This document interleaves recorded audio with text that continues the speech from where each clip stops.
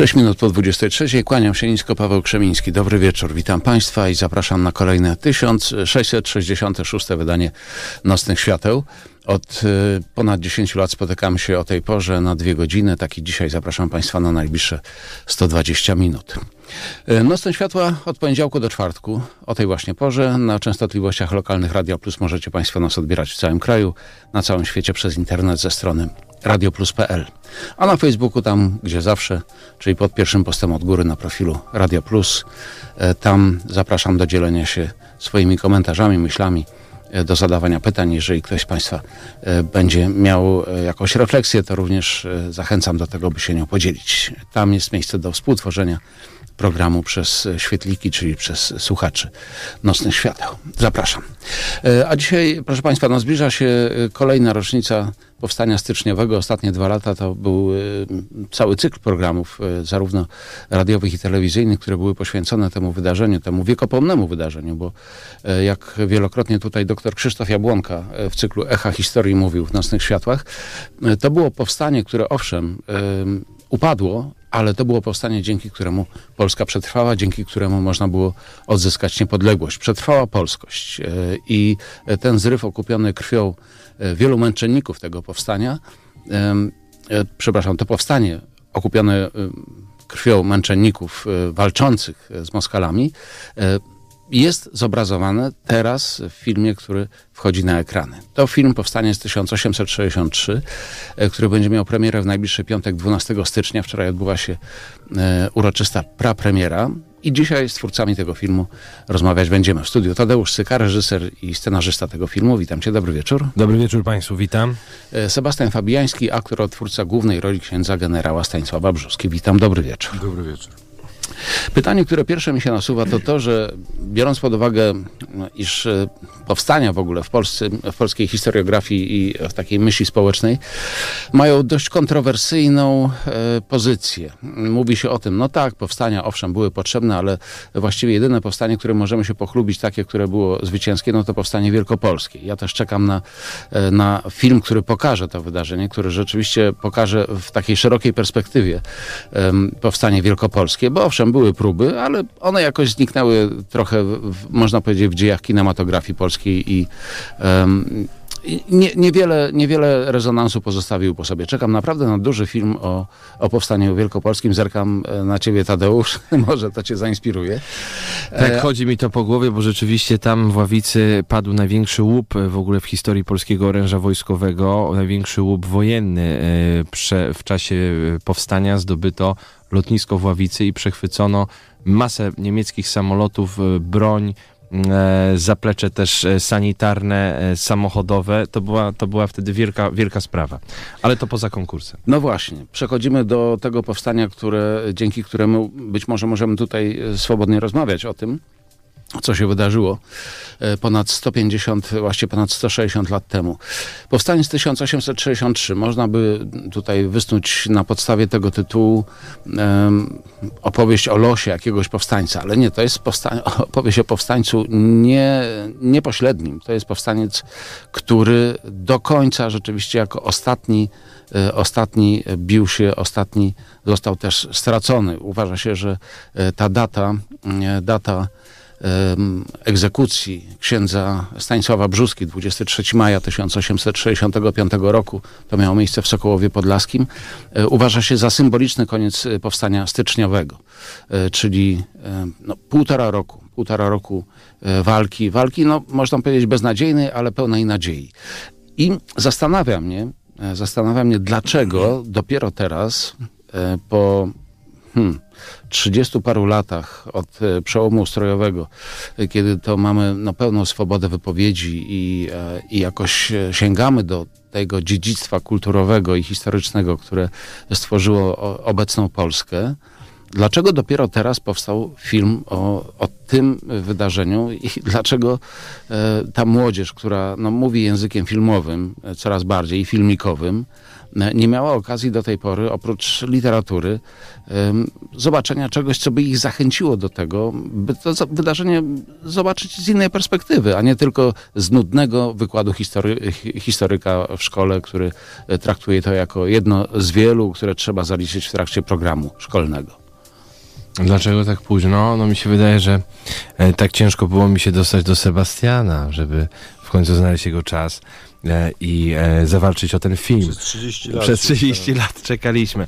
A tak na poważnie, to zanim zaczniemy odpowiadać na to pytanie, to, to, to chcę bardzo Sebastianowi podziękować, bo e, mamy... Się ogoliłem. Ma, że się ogolił, że jednym słowem przeniósł się w realia tamtej epoki. Wszystkich Państwa bardzo zachęcam do tego, żebyście sobie zobaczyli teraz w internecie, jak wyglądał ksiądz Stanisław Brzuska, e, jak był uczesany, jak starannie był ubrany e, i jak wyglądał ksiądz generał Stanisław Brzuska, który miał już dłuższe włosy, podbite oczy, przestrzeloną rękę, podniszczoną czamarę i Sebastian zrobił to jeden do jeden i za to mu bardzo, bardzo tutaj dziękuję. E, wyszło to naturalnie, autentycznie. E, ja widząc ten film po raz, nie wiem, może setny, wzruszyłem się wczoraj na premierze bardzo. E, widząc pewne sceny, nie mówię jakie, to Państwo sami zobaczycie, ale tak, długo czekaliśmy i nie ukrywam, że to był jeden z impulsów, dlaczego ten film powstał. I mam przynajmniej taką satysfakcję, bo wiele trudów jest za nami, teraz trud dystrybucji, e, ale przede wszystkim mam satysfakcję, że spróbowaliśmy. I nikt mi nie powie, że e, nie ma szans zrobić takiego filmu w Polsce o powstaniu styczniowym. Owszem, jest, wymaga to tytanicznej pracy, zaangażowania takich wspaniałych aktorów jak Sebastian Fabiański, Cezary Pazura, Olgierd Łukaszewicz, Robert Czebotar, e, Karolina Szymczak, Marcin Kwaśny, e, czy wspaniałych polskich twórców, takich jak Jarosław Szoda, który bardzo mocno pomagał przy tym scenariuszu, Darku Gajewskim, e, Krzysztofie Zanusim, Filipowi Bajanowi, czy wielu, wielu innym twórcom. Ale ja tak chcę Sebastiana zapytać. Sebastian, jak pierwsza noc twoja po no po tej premierze, bo długo na to czekaliśmy, długo na to czekaliśmy. Nie wiedzieliśmy, czy nam wyjdzie. Odbiór jest, mówiąc skromnie, na 4 plus z tego, co słyszę. Jak ty się czujesz po pierwszej nocy? I ja zawsze mam... Mm, zawsze jakoś, nie nie potrafię się pozbierać zwykle dzień po premierze. W sensie, że że to są jakieś takie tak graniczne doświadczenia, że ja mam wrażenie, że dzień po premierze to ja cierpię na syndrom PTSD. Po prostu, bo e, ilość bodźców i ilość tych, to prawda. Mm, tak. tych zdarzeń, zderzeń, można powiedzieć, z opiniami ludzi, z ludźmi, którzy przychodzą, chcą zrobić zdjęcie, z ludźmi, dla których tego dnia muszę być. Tak. Bo tak naprawdę, no, i, I, taka jest funkcja głównie y, uroczystej premiery, oprócz te, te, oczywistej, czyli medialnej. Natomiast y, i to jest potworne doświadczenie, w sensie, że to jest, to jest, to jest niby, oczywiście można powiedzieć, że to, nie wiem, powinno być ułechcące ego, tak? No bo jakby nie patrzeć, nie wiem, stoisz, tak? Ludzie podchodzą, gratulują ci roli, e, peany na twój temat wygłaszają, chcą z tobą A ja powiem, zdjęcie. że było prawie 1400 osób na tej premierze, to proszę sobie wyobrazić, drodzy państwo, ilu ludzi chciało mieć zdjęcie z Sebastianem. I to jedno oficjalne, drugie z ręki, selfie i tak dalej, Tak, więc tak. Sebastian dał radę, tak jak dał radę w tym filmie. Tak, no- wybaczcie, wybaczcie, że mnie nie było, ale mnie załatwiła migrena wczoraj po prostu i, i przyjechałem po prostu do studia jakoś podleczywszy się, ale dzięki, dzięki waszej uprzejmości obejrzałem film dzisiaj, e, no i jestem pod wrażeniem. No to, to cieszymy się bardzo. I ja uważam, mm, nie wiem, że ja też wczoraj oglądałem ten film po raz w sumie pierwszy tak w pełnej krasie. E, I oczywiście ja nie jestem może naj od, odpowiednią osobą do tego, żeby go oceniać. E, tym bardziej, że ja trochę nie umiem oceniać e, swoich filmów, szczególnie kiedy w nich gram tak dużą rolę bo po prostu no, praktycznie w, w każdej scenie niemal byłem na planie i widziałem, co się dzieje, więc bardzo trudno to y, przychodzi mi. No fakt, trudno być sędzią we własnej sprawie. Dokładnie. Natomiast, natomiast kurczę, no na finałowej scenie tego filmu naprawdę wczoraj, wczoraj się bardzo, bardzo wzruszyłem. Uważam, że moja zresztą agentka Gosia Kłosińska, którą pozdrawiamy bardzo pozdrawiamy serdecznie. serdecznie, mm, e, napisała mi, że to jest jedna z najpiękniejszych e, scen w polskim kinie. No, co więcej, to jest taka e, scena, która bardzo kontrastuje z tym księdzem Brzuską, takim introwertycznym dosyć. E, A Tak. tu nagle staje się niezwykle ekspresyjny i to w takim momencie powiedziałbym, e, no, Którym po- którym walczy, walczy o życie. Tak, nawet, tylko że właśnie moim zdaniem nie swoje. Że to jest, to jest właśnie, to jest ten, to jest to credo tego filmu, tak? Czyli ofiara spełniona. Tak. To jest film o ofierze, to jest film o poświęceniu i w momencie, kiedy mamy do czynienia, to jest taki, dzisiaj z Karoliną Korwin-Piotrowską rozmawiałem mm, na temat tego filmu u niej w Antyradio i zwróciłem uwagę też w trakcie tej rozmowy z nią na taki niby banalny, ale wniosek mi przyszedł, że kiedy widzimy ks- księdza Brzuska na początku tego filmu, mówiącego łagodnym głosem, e, skromnego chłopca, można powiedzieć, kapłana, mm, który, który jest pełen skromności i, i po, po, pokory, uniżenia i wrażliwości. Widać, że to jest, od razu widać, że mamy do czynienia z jak- jakimś takim sercem na ręku u tego człowieka i zestawiając to z finałową sceną, tak, zobaczmy jaki jest, jaki jest przebieg tego bohatera i uważam, że że między innymi z tego powodu ta historia została opowiedziana. W sensie, że, że myśmy tą, e, Tadek, myśmy tą funkcję e, spełnili. Myśmy tą historię opowiedzieli, ponieważ zobacz jaki jest to jest to dokładnie, co powiedziałeś na premierze i to, co powiedziałeś też dzisiaj, tak? Spójrzcie sobie Państwo na zdjęcie księdza Stanisława Brzuski mm, przed tym wszystkim, nazwijmy to. No i te zdjęcia tym już są w internecie, już je tam zamieściłem, żebyście Państwo, którzy nas słuchacie, mogli rzeczywiście zobaczyć tego księdza Brzuskę przed dwie i zupełnie po. inne osoby Tak, to są nawet. dwie zupełnie inne osoby. Tak, i, i co ciekawe, y, w scenie finałowej ja jestem już przysposobiony bardziej y, i wyglądam jak człowiek, mm, bo tak zadecydowali y, Rosjanie, którzy mnie mm, przetrzymywali. Ja więc obcięli mi włosy i doprowadzili mnie do ładu, tak? Mm, ale kurczę, niby ta sama fryzura z początku filmu i niby ta sama charakteryzacja, co na początku filmu, a jednak widzimy po prostu jaka jest różnica w tym człowieku, tak? Jakby jak on patrzy, Jaką drogę przeszedł, i jak on dojrzał. stoi, jak, jak, on, jak on mówi, jakim Tak. głosem on mówi. I to przemówienie, o którym mm, e, powiedziałeś, to dla mnie, to to jest właśnie, to jest, to jest credo tego filmu, tak? Czyli musieliśmy doprowadzić do tej sytuacji, żeby ten facet był umocowany argumentami, żeby zadecydować to, co zadecydował. A zadecydował, e, że po prostu odda swoje życie e, tak naprawdę z miłości, bo, bo to jest moim zdaniem coś, co go najbardziej determinowało, tak? Co nim powodowało. No. Miłość, tak? Miłość do kraju, do wiary, do Boga, mm, do ludzi, którzy go otaczali.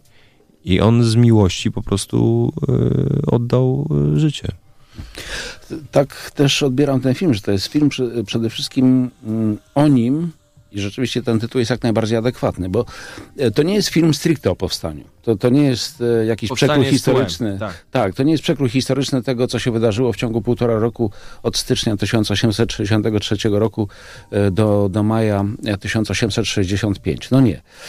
To jest film o pewnym człowieku, który stał się jego symbolem i który zawsze mnie, nie ukrywam, inspirował i, e, i imponował, kiedy, kiedy badałem to powstanie tak z punktu widzenia dziennikarskiego, bo też mam za sobą e, cały cykl telewizyjny takiego programu, który nazywał się Kalendarium Powstania Tak. styczniowego. Redagowałem ten, ten, e, ten program e, i to było dokładnie właściwie e, skomasowane w 52 wydaniach cały przebieg powstania w roku 1863 i ten ksiądz Brzuska wielokrotnie tam się przewijał. Wiele innych postaci także, ale mm, mimo, że on może niezbyt wyraziście na tle innych dowódców był widoczny, to o tyle pojawiał się zawsze jako postać ciekawa i dyskusyjna, jeśli chodzi o pewne decyzje, które podejmował. No ale to y, zgodzi się ze mną, że wynikało właśnie z tego, że on łączył w sobie podwójną rolę. Langiewicz, wszyscy późniejsi dyktatorzy, po prostu, no generał z krwi i kości dowodził, dyktator i tak dalej. Natomiast tu mieliśmy księdza, skromnego wikarego z Łukowa i nagle naczelnego kapelana e, powiatu łukowskiego i co do generała jest spór historyków, gdzie e, próbują niektórzy znaleźć ten przekaz pisemny. Natomiast nie czarujmy się, w czasie powstania było wiele rozkazów i nominacji wydawanych ustnie, więc jakby ja bym się tego nie doszukiwał. Jest to zaakceptowane przez Muzeum Ordynariatu Wojska Polskiego przy ulicy Długiej, że on był generałem i co do tego w ogóle nie ma absolutnie żadnego, e, nazwijmy to, sporu. Więc myślę, że to też ciekawiło tych ludzi i założę się, że w czasie tego powstania styczniowego padały te pytania. No, jak ksiądz chodzi z szablą austro-węgierską przy pasie, chodzi z, e, ksiądz e, z rewolwerem Le Fouchot, e, no to no, no, no raczej z tym się mszy polowej nie odprawia. To po prostu ma służyć do obrony, do obrony koniecznej, którą myślę, że Brzuska zastosował i jak wertowaliśmy zwłaszcza przekazy, czy to w raporcie Emerlicha, słynnego szwajcarskiego korespondenta który obserwował powstanie, czy y, przekazy lokalnej prasy, zarówno y, z zaboru y, rosyjskiego, z Galicji, no to było niesamowicie opisywane, nawet wręcz sprzecznie, te momenty schwytania brzuski. Jak on stał ze swoim wiekuistym adiutantem Wilczyńskim i z dwoma rewolwerami w ręce odstrzeliwał wszystkich Moskali, którzy zbliżali się do, do chaty, która no niestety w wyniku prowokacji została wskazanym miejscem przez Antoninę Konarzewską, czyli e, łączniczkę, która w tym oddziale e, też posługiwała. Film myślę bardzo aktualny. Prosimy Państwa, żebyście zobaczyli zwiastun e, filmu Powstanie z 1863. Tam widać też kapitalną zmianę naszych bohaterów. Myślę, że to się udało bardzo dobrze osiągnąć. Ten film widział Jerzy Hoffman jeszcze zanim on się pojawił gdziekolwiek. Bardzo się wzruszył bardzo się wzruszył, powiedział, że mu się też kiedyś marzyło zrobić film o powstaniu styczniowym. E, chciał go zrobić z Danielem Olbryskim, no ale życie zadecydowało no, inaczej. Daniel Olbryski się pojawia w tym filmie. Tak, Daniel Olbryski też się pojawia i właśnie gra tego wspomnianego weterana powstania styczniowego, bo to jest to, co e, Pawle powiedziałeś, że to powstanie mimo militarnej przegranej, ono rezonowało przez kolejne 60 lat do dwudziestolecia, e, dwudziestolecia międzywojennego i miało doskonały mm, przykład tego, jak Piłsudski świetnie to wykorzystał, generując specjalne przywileje zarówno dla weteranów, dla wdów, e, generując e, swoimi ustawami specjalny mundur, który oni mieli, tworząc schroniska. Nomen omen, jedno z nich było przy ulicy Floriańskiej. Tak, na Pradze e, Północ obecnej. Gdzie dzisiaj jest e, kuria warszawsko-praska i przed którą stoi pomnik też księdza Ignacego Skorupki, a to czasie naszych rozważań, między innymi z jednym z konsultantów, księdzem profesorem e, Sławomir, Sławomirem Byliną, e, odkryliśmy rzecz, odkryliśmy listy m, siostry Ignacego Skorupki i e, listy Ignacego Skorupki do jego siostry, w których on opisywał swoją motywację pójścia do seminarium i wskazywał właśnie księdza Brzuskę. E, no, no, też myślałem o księdzu Skorupce, kiedy widziałem te sceny batalistyczne, to, e, to, to uderzenie, można powiedzieć, oddziału księdza Brzuski przed, y, pod, y, Żyżynem. pod Żyżynem, tak. E, to jako żywo skojarzyło mi się e, z Bitwą Warszawską, która zresztą też obrazowana jest e, w kulturze popularnej i tej, i tej uwiecznionej na, na obrazach. Ten ksiądz Skorupka no, też od razu przyszedł mi na myśl. My dzisiaj jednak mówimy o powstaniu 1863 roku, powstaniu styczniowym, o, przede wszystkim o filmie Powstanie z 1863, tuż przed jego premierą kinową, która w najbliższy piątek 12 stycznia. W studiu razem z nami goście Sebastian Fabiański, Tadeusz Syka. Wracamy za chwilkę. Tego wieczora w Nocnych Światłach, tuż przed premierą kinową, która w najbliższy piątek 12 stycznia rozmawiamy o filmie Powstaniec 1863. Tadeusz Syka, reżyser filmu i autor scenariusza. Jest w studiu także Sebastian Fabiański, odtwórca głównej roli księdza generała Stanisława Brzuski. Na Facebooku miejsce na Państwa komentarze, tam zapraszamy, jeśli ktoś chciałby podzielić się z nami swoimi refleksjami, e, swoją myślą, komentarzem, zadać pytanie, to profil Radia Plus pod pierwszym postem od góry. Ksiądz e, Stanisław Brzuska, e, postać główna i właściwie można powiedzieć, jak tutaj wspomnieliście, no nie schodzi z ekranu. Ale dzięki temu można zobaczyć tę jego przemianę i ten szczególny moment bitwy pod Żerzynem jest również takim, taką wyrazistą chwilą, kiedy widać to jego mm, wewnętrzne rozdwojenie. To, że on jest księdzem i jest jednocześnie żołnierzem, że tam się trochę kłóci. Znowu zrobię wycieczkę do Bitwy Warszawskiej, tutaj do filmu Roberta Glińskiego Zieja, gdzie jest taka scena, jak ksiądz Jan Zieja odmawia E, e, udziału w bitwie i namawia jednocześnie do tego, żeby e, do swojego bliźniego, do drugiego człowieka nie strzelać, za co no, groziła mu śmierć w warunkach frontowych.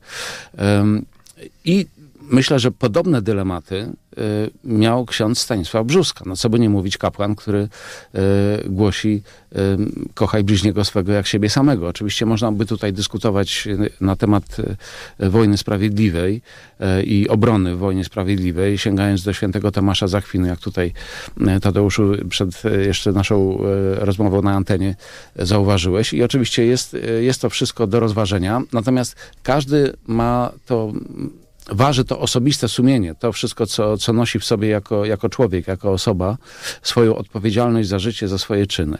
E, I tutaj ten ciężar, no muszę powiedzieć, dla mnie jest najciekawszą, e, najciekawszą kanwą e, tej, tej opowieści. Ta postać jest na tyle dla mnie przykuwająca, tutaj ukłony do Sebastiana, mm, że właściwie dla mnie proszę mi wybaczyć to, co powiem w tej chwili, że samo powstanie staje się y, mało mniej interesujące niż, y, niż wewnętrzny rysunek y, postaci księdza Brzuski. Mhm. No, to, to, to miło, że tak uważasz. Ja na przykład mam takie, mm, sobie postawiłem takie zadanie przy tym filmie, że mm, nie chciałem bardzo się skupiać na tych militarnych i fizycznych, nazwijmy to, mm, warstwach tego filmu, bo i tak wiedziałem, że one zaistnieją, tak? No bo to było jasne przecież, że będą szable wokół, tak, że będą... Że będzie huk strzałów tak, i tak że dalej. będą strzały, wybuchy i tak dalej. Więc ja e, bardzo chciałem uzbroić księdza e, Stanisława Brzuskę w, w tę jego duchową część, tak?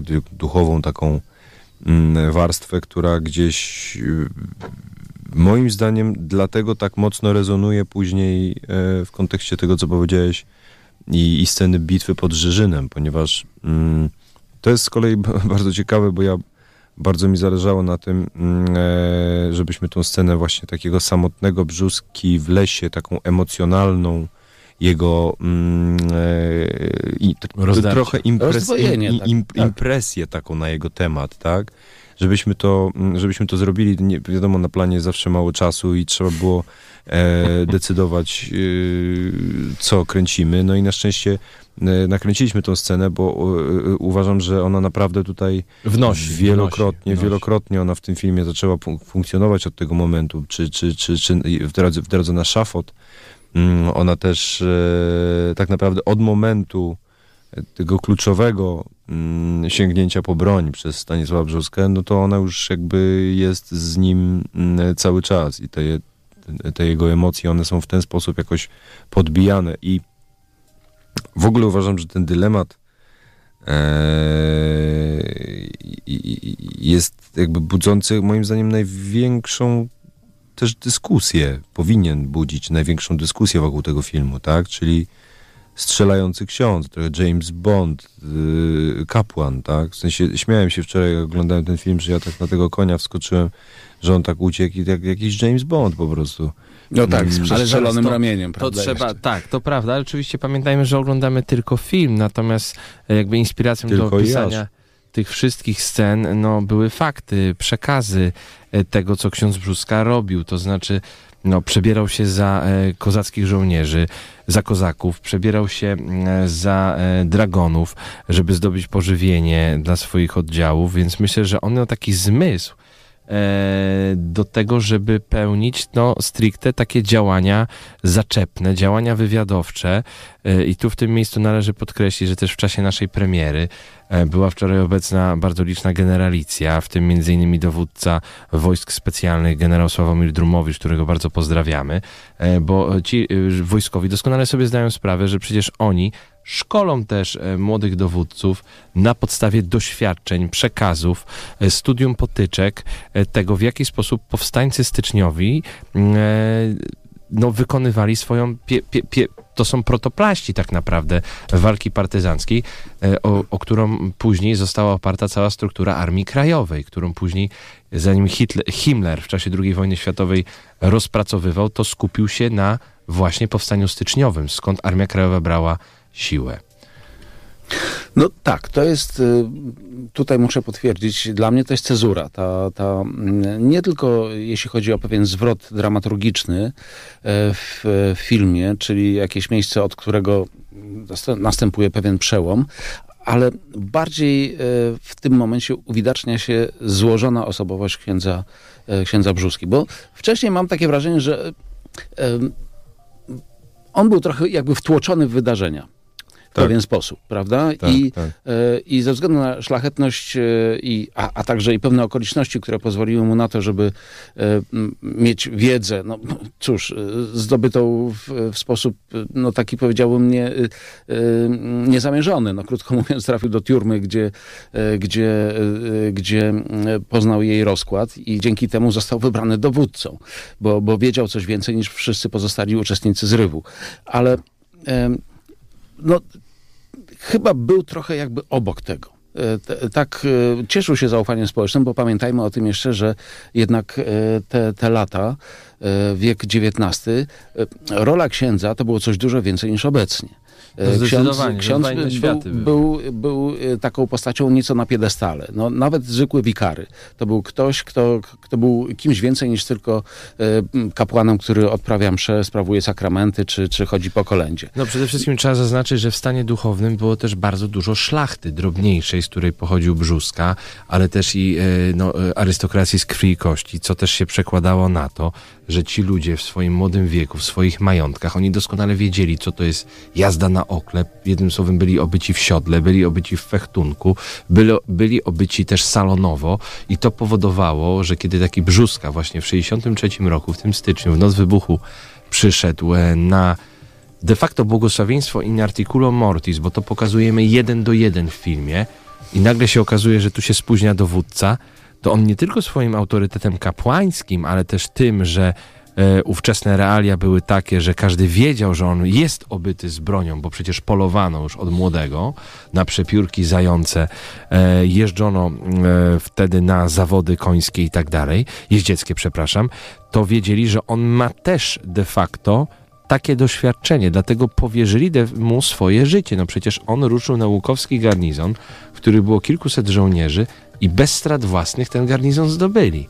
Co natychmiast zobaczyły władze powstańcze i błyskawicznie go nominowano, bo brakowało dowódców, właśnie rasowych, z autorytetem. No i to była też jedna z klęsk niestety powstania. Brakowało nam broni i ludzi.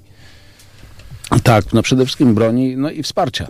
To jest w ogóle ciekawa rzecz, bo powstanie styczniowe można powiedzieć, zapoczątkowało pewne procesy społeczne i polityczne w całej Europie, e, pewne spory dotyczące tego, czy to powstanie wspierać, czy nie wspierać, czy to jest Polska, czy to jest Rosja, e, czy, czy jednak e, wychodzić przed szereg, czy, czy drażnić cara, czy nie. Tutaj wielkie interesy gospodarcze również oczywiście grały rolę. W związku z tym trzeba powiedzieć, że to wydarzenie naprawdę nie jest tylko naszym jakimś lokalnym zrywem z szabelką, bo są takie opracowania historyczne, które mówią, że w gruncie rzeczy e, takie e, nowoczesne, które miały miejsce potem w wieku XX już w bardzo wyrazisty sposób podziały na lewicę, prawicę, które zarysowały się wcześniej podczas wojen religijnych, wybuchły w gruncie rzeczy w Europie w wyniku powstania styczniowego. Tak. Tak, tak, tak, tak, tak, to prawda. Więc ja myślę, że ten rezonans powstania styczniowego, on też trwa do dzisiaj, no bo tutaj trzeba bardzo mocno podkreślić, że to, co dzieje się w tej chwili za naszą wschodnią granicą, e, czyli napaść Rosji na Ukrainę, to miała miejsce 161 lat temu dokładnie w polskim przypadku. E, te branki, to wszystko, to już wszystko było, no zmieniły się tylko narzędzia, E, przekazu, internet, e, mass media, oczywiście zły przekaz jest manipulacja e, światowych mediów, ale to wszystko już było i myśmy Polacy to przeżyli. I to, co jest jedno niesamowite, że nam wtedy nikt nie pomógł, a Ukrainie dzisiaj się pomaga bardzo, bardzo mocno. E, I to jest też temat na osobną rozmowę, e, że kiedy robiliśmy casting do tego filmu wspólnie z Łukaszem Szklarzem, którego teraz pozdrawiamy, naszego kierownika produkcji, który spiął ten film bardzo mocno, e, to mieliśmy takie niesamowite poczucie, że ci ukraińscy aktorzy, którzy przychodzili do nas, oni tak mówili, słuchajcie, my musimy wystąpić w tym filmie, a myśmy się tego obawiali. No jak dzisiaj prosić ukraińskiego aktora o to, żeby zagrał carskiego, ca, carskiego oficera. A oni chcieli, bo oni mówili, słuchaj, my w ten sposób wyrażamy Chcemy sprzeciw pokazać, tak. temu, co się dzieje. No i rzeczywiście można powiedzieć, że te postaci były bardzo wyraziste. Tak, no bardzo. Tu, tutaj świetna rola Wieczesława Boguszewskiego, który wciela się w historyczną postać Kata Podlasia. Eee, historycznie był to generał, myśmy zrobili z niego majora. Eee, Major Maniukin. Tak, generał e, Stepanowicz Zachary Maniukin, e, który był no, de facto prekursorem niesamowicie okrutnych kar, e, na bazie których później, no niestety, banderowcy się wzorowali. Więc to, co się działo na Wołyniu, a to versus co się działo na Podlasiu w powstania styczniowego, to jest niestety kolosalna przepaść, no niestety na gorszą w kierunku powstania styczniowego. Więc te represje były bardzo mocno. Przecież trzeba pamiętać, że e, miasta, miasteczka traciły prawa miejskie, które, odbierał, e, które odbierano w wykazu w ramach e, nakazu cara. Wysyłano ludzi na Syberię, zabierano majątki. To był bardzo trudny czas i ja też zwykłem mawiać, że my, my nie mamy absolutnie prawa w ogóle kwestionować sensu wybuchu powstania. Żadnego. Żadnego. Właśnie, żadnego. E, bo... Ja miałem dzisiaj taką rozmowę właśnie na ten temat, I... gdzie, tak. bo wiele, wielokrotnie słyszę właśnie, ja, ja oczywiście nie, nie mi to oceniać, ja też nie mam tak rozległej wiedzy na ten temat jak, jak wy. Mm, natomiast często słyszę właśnie, że, że to było bezsensowne powstanie i mm, właśnie w, w rzeczonej już przeze mnie rozmowie z Karoliną Korwin-Piotrowską rozmawialiśmy e, i ona właśnie mi mówiła, czy to nie jest trochę tak, że to jest jakiś taki e, wstydliwy jakiś akt Absolutnie. dla nas, bo e, ilość literatury na ten temat, ilość też publikacji kulturalnych i też, i też jakby działań kulturalnych, czy też w, w filmie, czy, czy, czy w teatrze, czy, E, czy jakkolwiek jest dużo, dużo mniejsza niż przy okazji Ale... Mm, innych tak. tego typu Pytanie, y, to jest pytanie o polską kulturę także, bo y, kto wie, Oczywiście y, świetnie by było, gdybyśmy mieli kraj, który nie został poddany rozbiorom, który nie został, nie został poddany represjom, germanizacji, sowietyzacji, um, przepraszam, sowietyzacji, e, rusyfikacji, um, który byłby niepodzielny, który byłby silny w Europie jak e, przed, przed rozbiorami. Um, ale kto wie, e, czy mielibyśmy wtedy takie dzieła, jak dzieła naszych wieszczów bo to tak naprawdę stworzyła wielka emigracja po, e, powstanie, po, po powstaniu. Styczniowe. No powstanie tak. styczniowe. Powstanie styczniowe umocniło polskość. Kto wie, jak wyglądałby nasz kraj, gdyby nie, e, kto wie, czy druga wojna nie skończyłaby się zupełnie inaczej. E, to jest oczywiście gdybanie, to jest, to jest historical political fiction.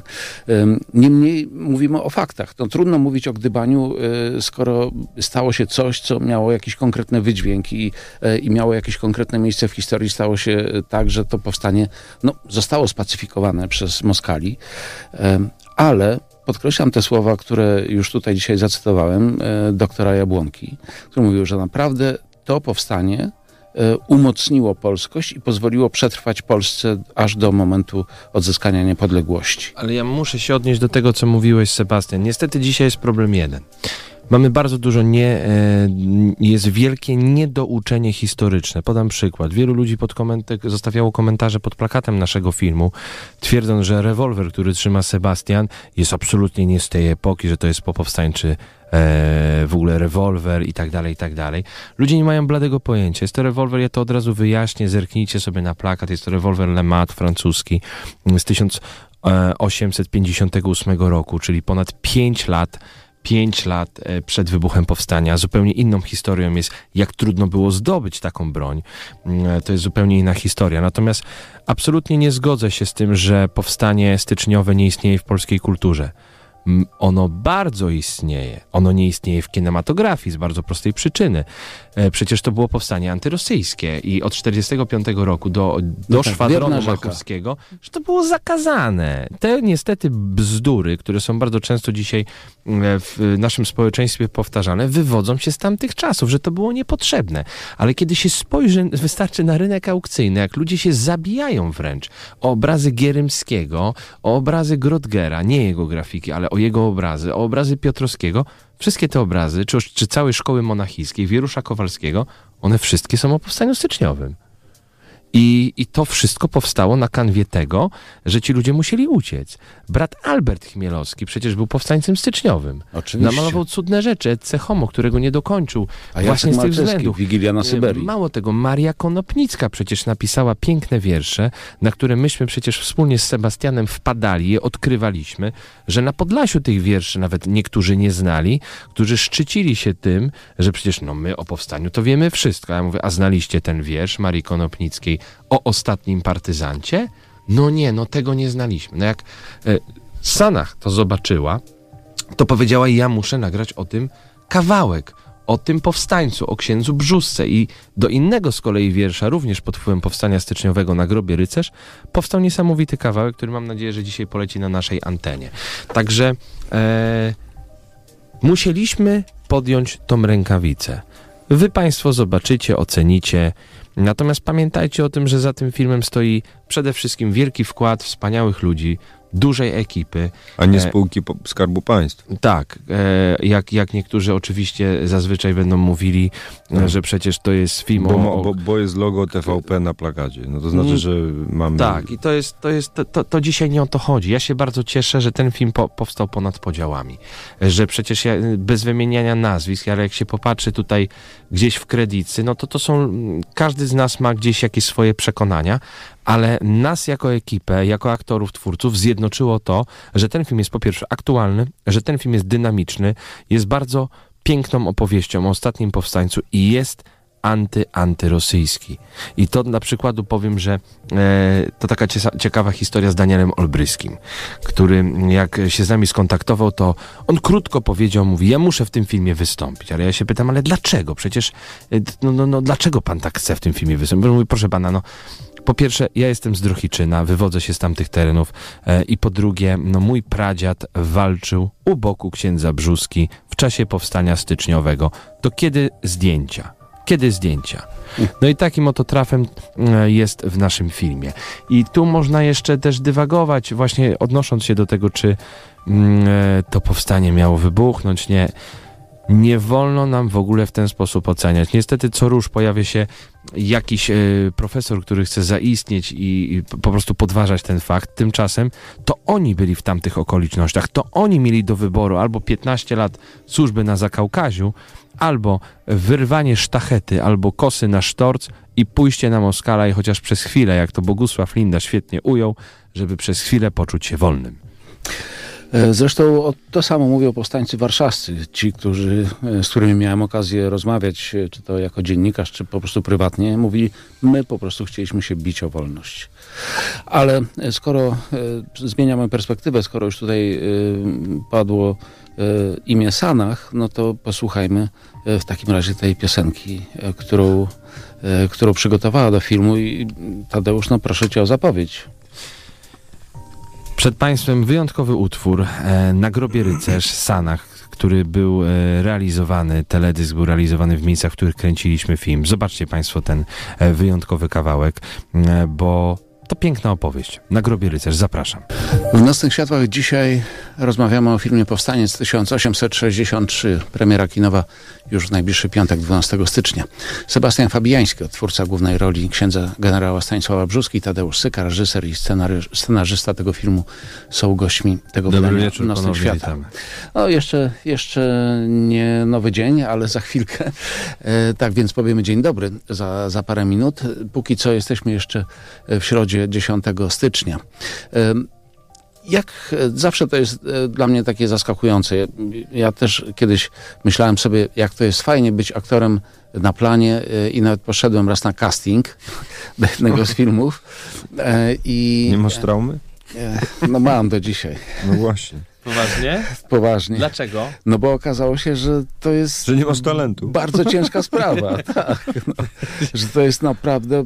Ojejku, jejku, naprawdę. Nie, no, no, naprawdę byłem zaskoczony Wiesz, tym. jest aktorów bez talentu?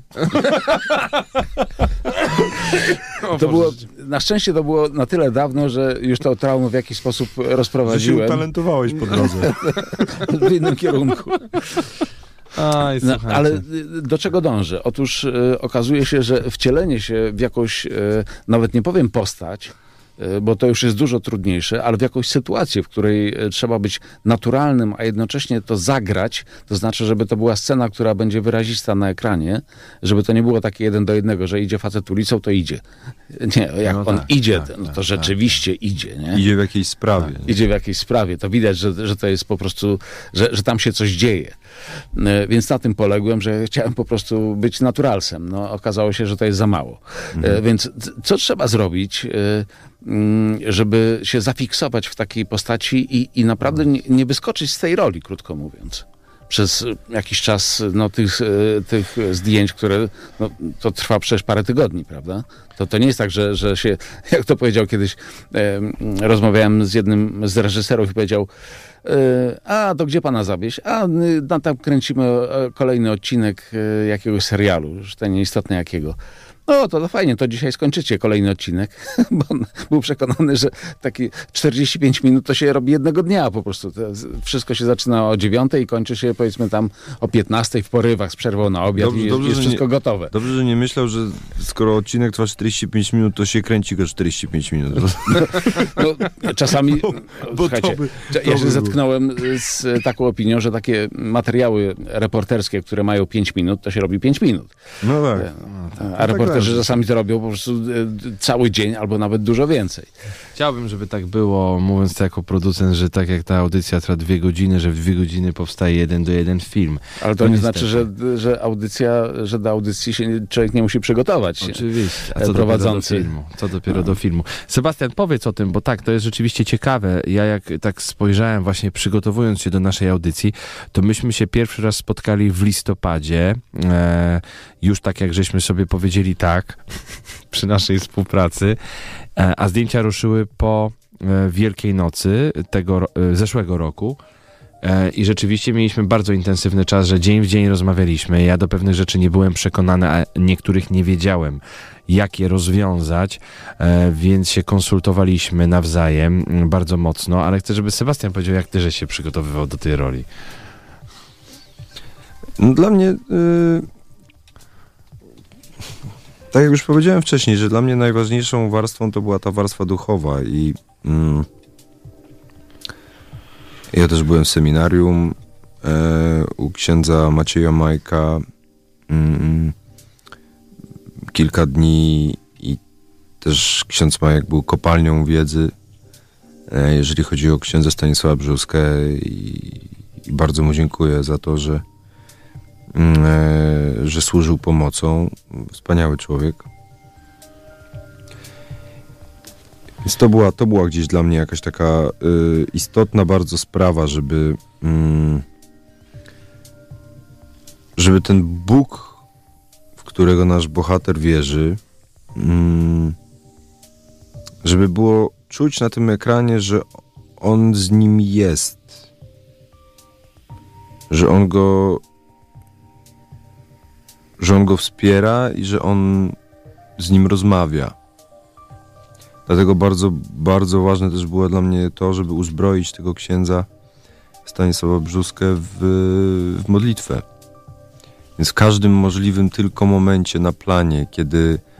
E, bo tutaj jest trochę tak, że ten film ma swój bieg, tak? On ma swoją akcję. I nie było zbyt dużo przestrzeni na to, żeby właśnie pobyć sobie sam na sam z tym brzuską, tak, tak po prostu. Tak sobie z nim pobyć.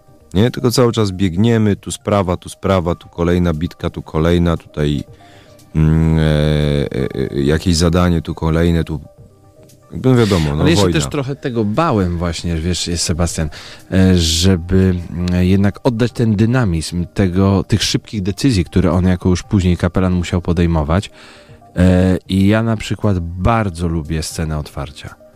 To, kiedy widzę ciebie skupionego, mówiąc tak to z fachowego punktu widzenia, de facto w miejscu e, pracy twojej, bo tak zawsze scenarzyści mówią, żeby bohatera pokazać zarówno e, prywatnie, w miejscu swojej pracy i z ludźmi. I kiedy tu cię widzimy, i myślę, że Państwo to natychmiast poczują, to wiele osób w czasie pokazów e, kolaudacyjnych, premierowych nie rozpoznawało w ogóle Sebastiana. E, I ja myślę, że to od samego początku udało nam się widza złapać, e, przekonać go, że my mamy do czynienia zupełnie z kimś innym, że mamy do czynienia z bohaterem sprzed 160 lat. To też Karolina Korwin-Piotrowska zwróciła na ciekawą rzecz uwagę, bo mm, powiedziała mi, że, Bardzo ją serdecznie pozdrawiamy. że ona w ogóle miała wrażenie, że ja jakimś totalnie innym głosem mówię na początku tego filmu. Mistycznym wręcz. Że jakimś takim ła- łagodnym, nawet, nawet powiedziała chłopięcym. I ta łagodność faktycznie, no ona była tutaj dla mnie też bardzo ważna, żeby, e, żeby nie pójść e, w jakieś takiego kreowanie pomniku, pomników, tak? No bo ja nie chciałem bardzo, żeby, e, żeby tutaj robić Nie, tego na pewno nie ma w tym pomnikowy. filmie. Tu nie, ma pomnikowości, nie. zdecydowanie nie. I dlatego, ale też właśnie dlatego, że, że ten facet ma wrażliwość, tak? I to jest jego, to jest jego oręż, można powiedzieć. Wrażliwość i, i, i, i duch, jego duch, tak? W sensie to, w jaki sposób on się gdzieś komunikuje mm, z tą metafizyczną sferą życia, tak? Czyli, czyli z Bogiem i i dla mnie to było bardzo istotne, że tak jak już mówiłem właśnie, żeby, żeby go w możliwie jak najczęściej pokazywać modlącego się, że nawet jeżeli jest jakieś przygotowanie do walki, przygotowanie, to on nie jest skupiony na świecie zewnętrznym i na tym, żeby y, jak prawdziwy generał, dowódca mm, robić tak zwany research, tak, i, i, i patrzeć na mm, okoliczności przyrody, szukając ewentualnie rozwiązań strategicznych mm, do mm, wygrania ewentualnie jakiegoś starcia, tylko właśnie on w tej sytuacji, kiedy już jest zaraz przed e, bitwą, on się modli. I, I on sobie zamyka te oczy, i on w tym introwertycznym swoim świecie szuka tego kontaktu i szuka tych odpowiedzi, bo wydaje mi się, że, że on w tych momentach zadawał pytania, tak? No bo z czym przychodzimy ewentualnie, jeżeli ktoś praktykuje, tak? No z, kim, z czym przychodzimy do kościoła? No, no na pewno nie z odpowiedziami. Tak, Mm, z e, pytaniami. Przychodzimy z pytaniami, z jakimiś prośbami, tak? No i on z tym mm, e, właśnie e, przychodził do ludzi, znaczy do, do Boga. Więc, więc jak dla mnie, no to, to, to, to gdzieś pytałeś też, jak się jak wcielić w rolę, tak? W sensie mm, ciężko mi na to pytanie odpowiedzieć, bo to się zwykle dzieje samo. Po prostu y, w moim przypadku ja o, o, oddaję się gdzieś mm, tej sprawie, w której akurat funkcjonuję i, i mój aparat, czyli ciało plus wrażliwość rezonuje z tym materiałem, którym się aktualnie zajmuję i moje ciało samo wie, co robić. Ono po prostu, ja mu nie przeszkadzam. Ja się nie zastanawiam, jak tutaj, kiedyś mi jak jeden z profesorów w szkole teatralnej powiedział, że rolę się buduje od butów. że jak, że musisz założyć buty swojego bohatera i wtedy ten, i oprócz tego jeszcze to, to od, momencie, kiedy aktor wie, co z rękami zrobić, to znaczy, że ma rolę. No to jest jakieś bzdury kompletne, no. Ja się w ogóle nie zajmuję tym, co ja mam rękami, z rękami zrobić. Ja, jakby to, to w ogóle, po co ja mam o tym myśleć? Co ja mam z rękami zrobić? To jest jakieś w ogóle zaśmiecanie sobie świadomości. A moja świadomość powinna być skupiona na konkretach, tak? Na sprawie, a nie na tym, co ja mam z rękami zrobić. Ręce same się zajmą sobą, tak? I wszystko samo się zajmie sobą. Ja nie muszę się skupiać na tym w aktorstwie, czy żeby się zastanawiać, jak ja stoję, czy jak ja gram. Nie, jakby jestem, funkcjonuję w bardzo konkretnej sprawie, jakby trochę, trochę na pograniczu jakiegoś schizofrenicznego mm, lotu, tak? Jakby y, jestem nie sobą, i, i, i to, co robię, to swoją wrażliwością mm, wchodzę w, w, to, czym się aktualnie, o co się aktualnie troszczę. Jakieś tam, oczywiście wiadomo, że trafia do mnie jakaś opinia, czasami się przykleiła mi jakaś taka łatka, że rzekomo jestem trudny. Ja jestem wymagający bardziej, a nie trudny, ale nie tylko od ludzi. Potwierdzam, tylko, potwierdzam. Ja nie miałem takiego poczucia, e, ale to o tym za chwilę powiem. Ja, ja, ja po prostu, to jest tak, że w momencie, kiedy ja płonę, a ja na planach płonę, tak? Tak. Płonę w danej sprawie, no to po, powiedz mi, jak, jak się nie sparzyć? Jak się nie sparzyć, o, o, dotykając i obsując obok człowieka, który płonie? No jest ciepło, tak? No jest ciepło, no możesz się sparzyć, no cóż. Natomiast no ja nie umiem inaczej. Ja nie umiem przyjść na plan, m, mm, zrobić paru min, e, opowiedzieć kilka dowcipów ekipie m, mm, i być pupilkiem. No nie, no my, ja kładę na, na szali naprawdę swoje serce, swoją wrażliwość, swój umysł, swój intelekt, swoją kreatywność, wszystko kładę, tak? Przynoszę, przychodzę na plan i, i, i mówię, masz, bierz, kró, krój, tak? Krój, zabieraj, dep, depcz, jakby to, to, to, to, to jest to, co ja muszę zrobić. I, I oczywiście jestem jakby. Ja robię to z, po prostu z pasji. I, I, człowiek, który, który ma pasję, tak jak sama nazwa wskazuje, tak? No to jest, to jest pasja. To jest pasja, więc w, w, jakby jak ja y, mam wyobrazić sobie i jak ja miałbym, robiąc to z pasji i z pasją, jakie, miałby, jakie miałbym być, w cudzysłowie mówiąc, łatwy. No przecież pasjonaci to są ludzie sfokusowani, to są ludzie skoncentrowani na czymś, tak, na swojej pasji. I dla mnie to jest bardzo podobny case, tak, w tym przypadku. Czyli aktorstwo to jest nic innego jak koncentracja jak koncentracja na konkretnych rzeczach. Ja nie zajmuję się aktorstwem, paradoksalnie. Ja nie przychodzę na plan po to, żeby coś zagrać. Ja przychodzę łakomy spotkania. Spotkania z, zarówno z aktorami, jak i z reżyserem. No, oczywiście najpierw z reżyserem, potem z aktorami, z operatorem, z rekwizytem, ze scenografią, z, to, to jest spotkanie, to jest, to jest unikatowy moment tworzenia tego filmu. On się już nigdy nie powtórzy. To jest dokładnie ten dzisiejszy dzień. Więc to, co ja mogę zrobić, to jedyne moim zdaniem, co ja mogę zrobić, to się nie przygotować do tego, co ja za przeproszeniem mówiąc brzydko wypowiem, mówiąc ładnie jednak, na planie, tak?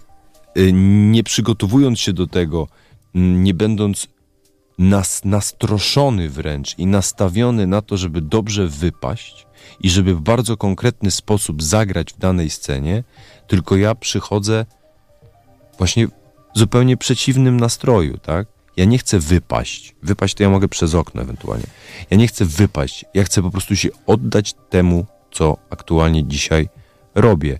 Tak jak kiedyś e, e, jest taka anegdota o E, Zbigniewie Zapasiewiczu. Anegdota, być może nawet i prawdziwa historia,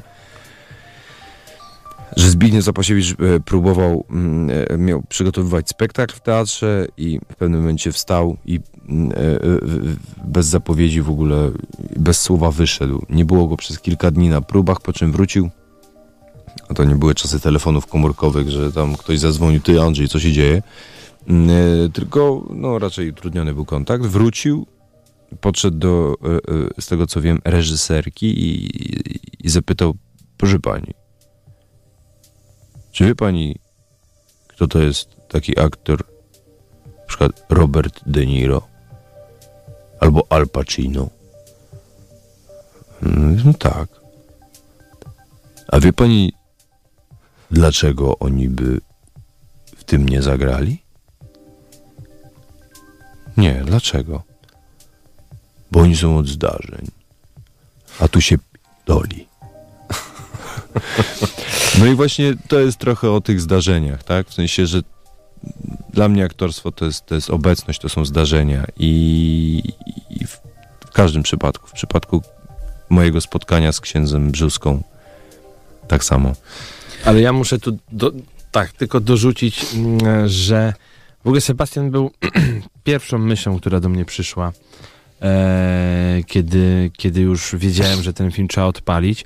I owszem, docierały do mnie różne Twój słuchy. brat też. Su, tak, Maciej, Maciej, którego pozdrawiamy, Syka też e, Tak, mi o tym wspominał. machamy do ciebie. Tak, to mm, e, docierały do mnie sygnały takie branżowe. Słuchaj, uważaj, bo on jest trudny i tak dalej, ale z drugiej strony wręcz przeciwne opinie się pojawiały, czy e, Dariusza Gajewskiego, czy Filipa Bajona, którzy mówili, bierz. Trzeba przypomnieć, że mm, Sebastian grał i u Darka Gajewskiego w Legionach, i u Filipa Bajona mm, w Kamerdynerze. I w Bierz. Paniach Dulskich jeszcze. Tak, i z Panach Dulskich. Bierz Sebastiana, bo on cudowne pomysły przynosi. Czasami jest trudno, bo jest wymagający. I nie każdy reżyser jest w stanie sprostać jego oczekiwaniom. I ja przyznam się szczerze, że jak mieliśmy e, te nasze trudne dni... Bo bałeś się mnie? nie, byłem ciekawy bardziej. Nigdy się ciebie nie bałem, bo jakby znałem też okoliczności, w jakich się poznaliśmy i myślę, że one były przede wszystkim szczerze budowane. Żeśmy Mhm. sobie powiedzieli. Ja się bałem, czy mi się ogolisz. Bo żeśmy rzeczywiście mieli taką dysputę na temat, nie, może zostawmy zarościk. Ja mówię, Sebastian, no XIX wiek, to tam nawet milimetra włosa nie było. Tam wszyscy byli brzytwą się golili, to musiała być... E, Nie no, wąs był szlachecki. no ale nie u księdza. No tak, księdza No o to mi chodziło i tu była taka rozmowa, a może mu delikatny zarościk zostawiać. Mówię, no tu już Sebastian polegniemy. I cieszę się, że się udało mm, to zrobić, bo e, to, to, to, to się wprowadziła ta kindersztuba, jak mawiają niektórzy, e, ten, ten taki piękny ład. I przyznam się szczerze, że takie największe zaufanie tutaj do Sebastiana, wręcz oddanie się, e, było w czasie kręcenia e, sceny finałowej że myśmy się e, wiele miesięcy wcześniej na zupełnie inną rzecz umawiali, e, sobie to zaplanowaliśmy, a Sebastian tego dnia mi powiedział, że słuchaj, ja mam na to inny pomysł, po prostu zaufaj mi. I ja to kupiłem. Rzeczywiście, jak Sebastian, e, nie mówię co zrobił, po prostu to Państwo zobaczycie. E, I powiedziałem tak po pierwszym dublu, idźmy w to, idźmy w to. E, I wykorzystaliśmy do tego autentyczne słowa księdza generała Stanisława Brzuski, które chyba z czterech różnych źródeł połączyliśmy w jedno przemówienie. Bo te przekazy były tak różne, e, to chyba najlepiej pokazuje, jak historycy się sprzeczają, kiedy się ksiądz Brzuska w ogóle urodził. No jedni mówią, że w 32, drudzy, że w 31. E, Trzeba pamiętać wtedy, że te księgi parafialne, które to de facto archiwizowały, były bardzo często e, mylone, e, był problem z piśmiennictwem, e, w różnych zaborach zapisywano inaczej, później to przeinaczano. I tak cały ten biogram księdza Brzuski wygląda, że on jest połatany, że w jednych źródłach e, znajdujemy, że on nie walczył, a w drugich znajdujemy niesamowite historie, że towarzyszył właśnie generałowi Heinrichowi Krukowi e, właśnie w bitwie pod Żyżynem. Ja to wykorzystałem i tam go umieściłem, no bo e, no nie da się tam po prostu tylko być. Przypomnijmy, że to był największy sukces powstania styczniowego, bitwa pod Żyżynem. Mm, Największy sukces, gdzie zdobyto e, 250 tysięcy e, rubli w złocie, gdzie zdobyto 300 najnowszych muszkietów, które nie zamakały na deszczu, bo to był też olbrzymi problem e, powstańców, że im broń niestety nie wypalała, e, a te narzędzia spowodowały, że powstańcy uwierzyli, że mają szansę. Niestety, jedyne co zrobił Zachód, to w, pra- w, pras, e, w praskiej, w, przepraszam, w paryskiej e, prasie zamieścił, no, że Polacy gdzieś tam jakąś potyczkę większą wygrali. I tyle. Mama mi napisała SMS-a. Sebek, tylko nie mów nic o polityce. Ale ten film jest o polityce. No jest w facto, pewnym sensie, no tak. Pozdrawiamy mamę Sebastiana i dziękujemy, że z nami tak wy, wytrwała bardzo mocno. ja też również... Powstanie... Ja myślę, że ona nie słucha, tylko po prostu z, przypomniała, że mam wywiad i powiedziała, żebym nie mówił o polityce. No ale to zaproś mamy, żeby słuchała. Ale powstanie styczniowe było wydarzeniem politycznym, więc Tak. nie możemy nie mówić o polityce. No, tak, chociaż mówimy też o filmie. Myślę, że Tak. chodzi jej o aktualne No, najbardziej. polityczne, a o tym to naprawdę myślę, że nie ma co gadać. Nie, trzeba robić filmy, słuchajcie, po prostu. Film powstanie z 1863, o nim dzisiaj rozmawiamy, tuż przed jego premierą kinową w najbliższy piątek, 12 stycznia, tak więc już jutro, bo jesteśmy po północy. Półmetek Nocnych Świateł także minął, a w studiu razem ze mną Sebastian Fabijański i Tadeusz Syka, twórcy e, filmu, e, o którym rozmawiamy, wracamy za chwilkę. Od kwadransa mamy już czwartek, 11 stycznia. Nocne światła trwają od ponad godziny. Dzisiaj tego wieczora rozmawiamy o filmie Powstaniec 1863, tuż przed jego premierą kinową, najbliższy piątek 12 stycznia. To proszę Państwa, biorąc pod uwagę, że zerwaliśmy kolejną kartkę z kalendarza, już jutro, już jutro ten film w pełnej dystrybucji w polskich kinach, a w studiu ze mną twórcy e, tego filmu, Tadeusz Syka, reżyser i autor scenariusza, Sebastian Fabiański, aktor, twórca roli głównej księdza generała Stanisława Brzuski. Ja wrócę jeszcze do, do kreowania postaci, bo jeśli chodzi o, o to, co mówiłeś o tym, o zaangażowaniu się całym sobą, z całą swoją wrażliwością, fizycznością, e, ca, no, człowiekiem integralnym, czy zmienia się e, sposób myślenia? E, To, jest, to mnie ciekawi. E, Czy, czy jesteś sobą, Sebastianem, czy w pewnym momencie czujesz, że stajesz się Stanisławem? No to jest ta, ta, ta bardzo tajemnicza sfera e, aktorstwa, której moim zdaniem nie da się racjonalizować i nie da się intelektualizować. E, I ciężko ją też opisać, bo pewne rzeczy po prostu się dzieją same. Nie wiesz nagle, dlaczego coś powiedziałeś albo coś zrobiłeś, a to po prostu się wydarzyło.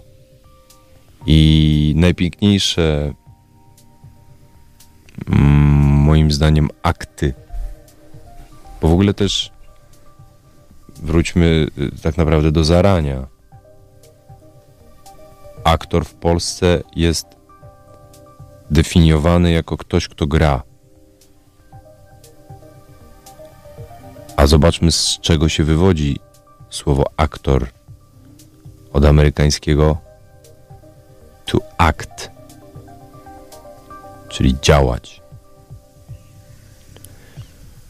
Więc tu nie chodzi o żadne granie, tak? Tu chodzi, tu chodzi o, o, o jakąś magię, która, na którą jesteś w stanie sobie pozwolić tylko w momencie, kiedy uwolnisz się od, od gorączkowego i łapczywego e, próbowania jakiegoś budowania swojego wizerunku w danej roli. Czy to w takim To razie na tym sensu. polega aktorstwo, że trzeba w tych latach nauki, sztuki aktorskiej Tak, musisz się nauczyć pozbyć jak... się samego siebie? Nie, o- najpierw, najpierw się, musisz to- się nauczyć jak udawać. Najpierw musisz się nauczyć jak udawać. W szkole się tego uczą. Bardzo skutecznie. Jak robić miny. jak modulować głos. Jak wyćwiczyć aparat mowy. Żeby potem szczęściarzom się udało przestać udawać. Tylko zacząć być, a nie grać. Bo oczywiście być postacią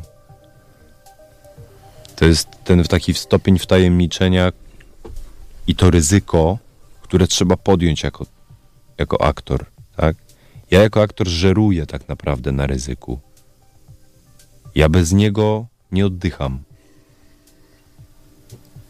I dlatego tak jestem wdzięczny, że mogę tak skrajne rzeczy grać i tak skrajne role grać.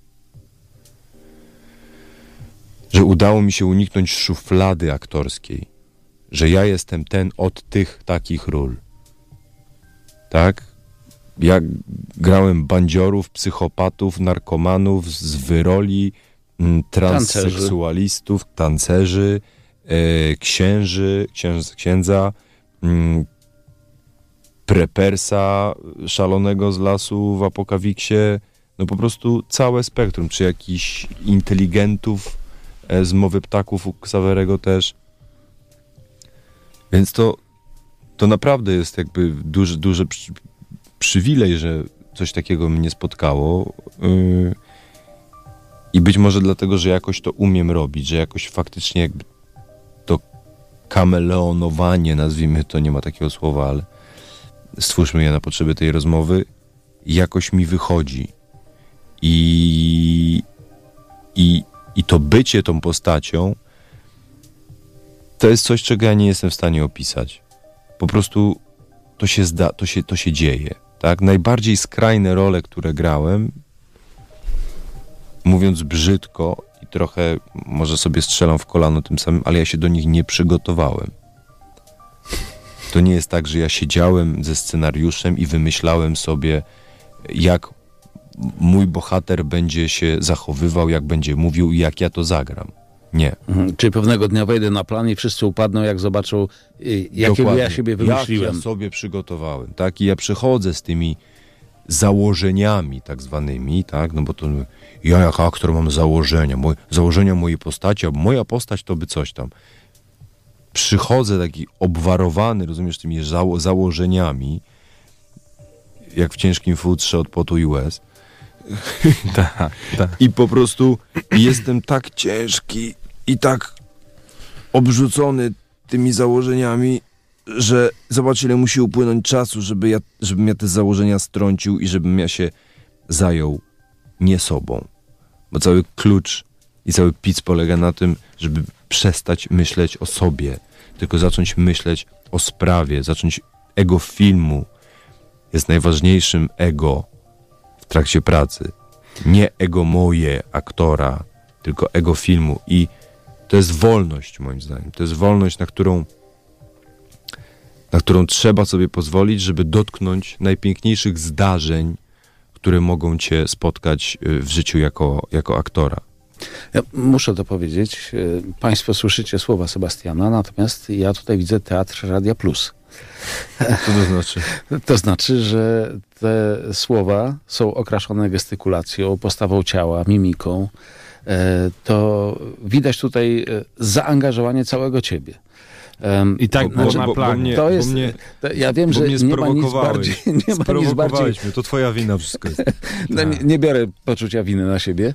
Dobra. Natomiast, e, natomiast e, no ja wiem, że to jest wkurzające dla, dla słuchacza. Proszę Państwa, szkoda, że Państwo tego nie widzą. Ale ja naprawdę żałuję, że Państwo tego nie widzieli, bo dla mnie to było duże przeżycie. Widzieć e, te... Przecież nic te nie zrobiłem. No, zrobiłeś bardzo dużo. Okej. Po Zrobiłeś prostu bardzo z dużo. pasją powiedziałem o tym, Do, dokładnie, ale to się oglądało. co, no możliwe, tak. Już nie mówiąc o tym, że się słuchało.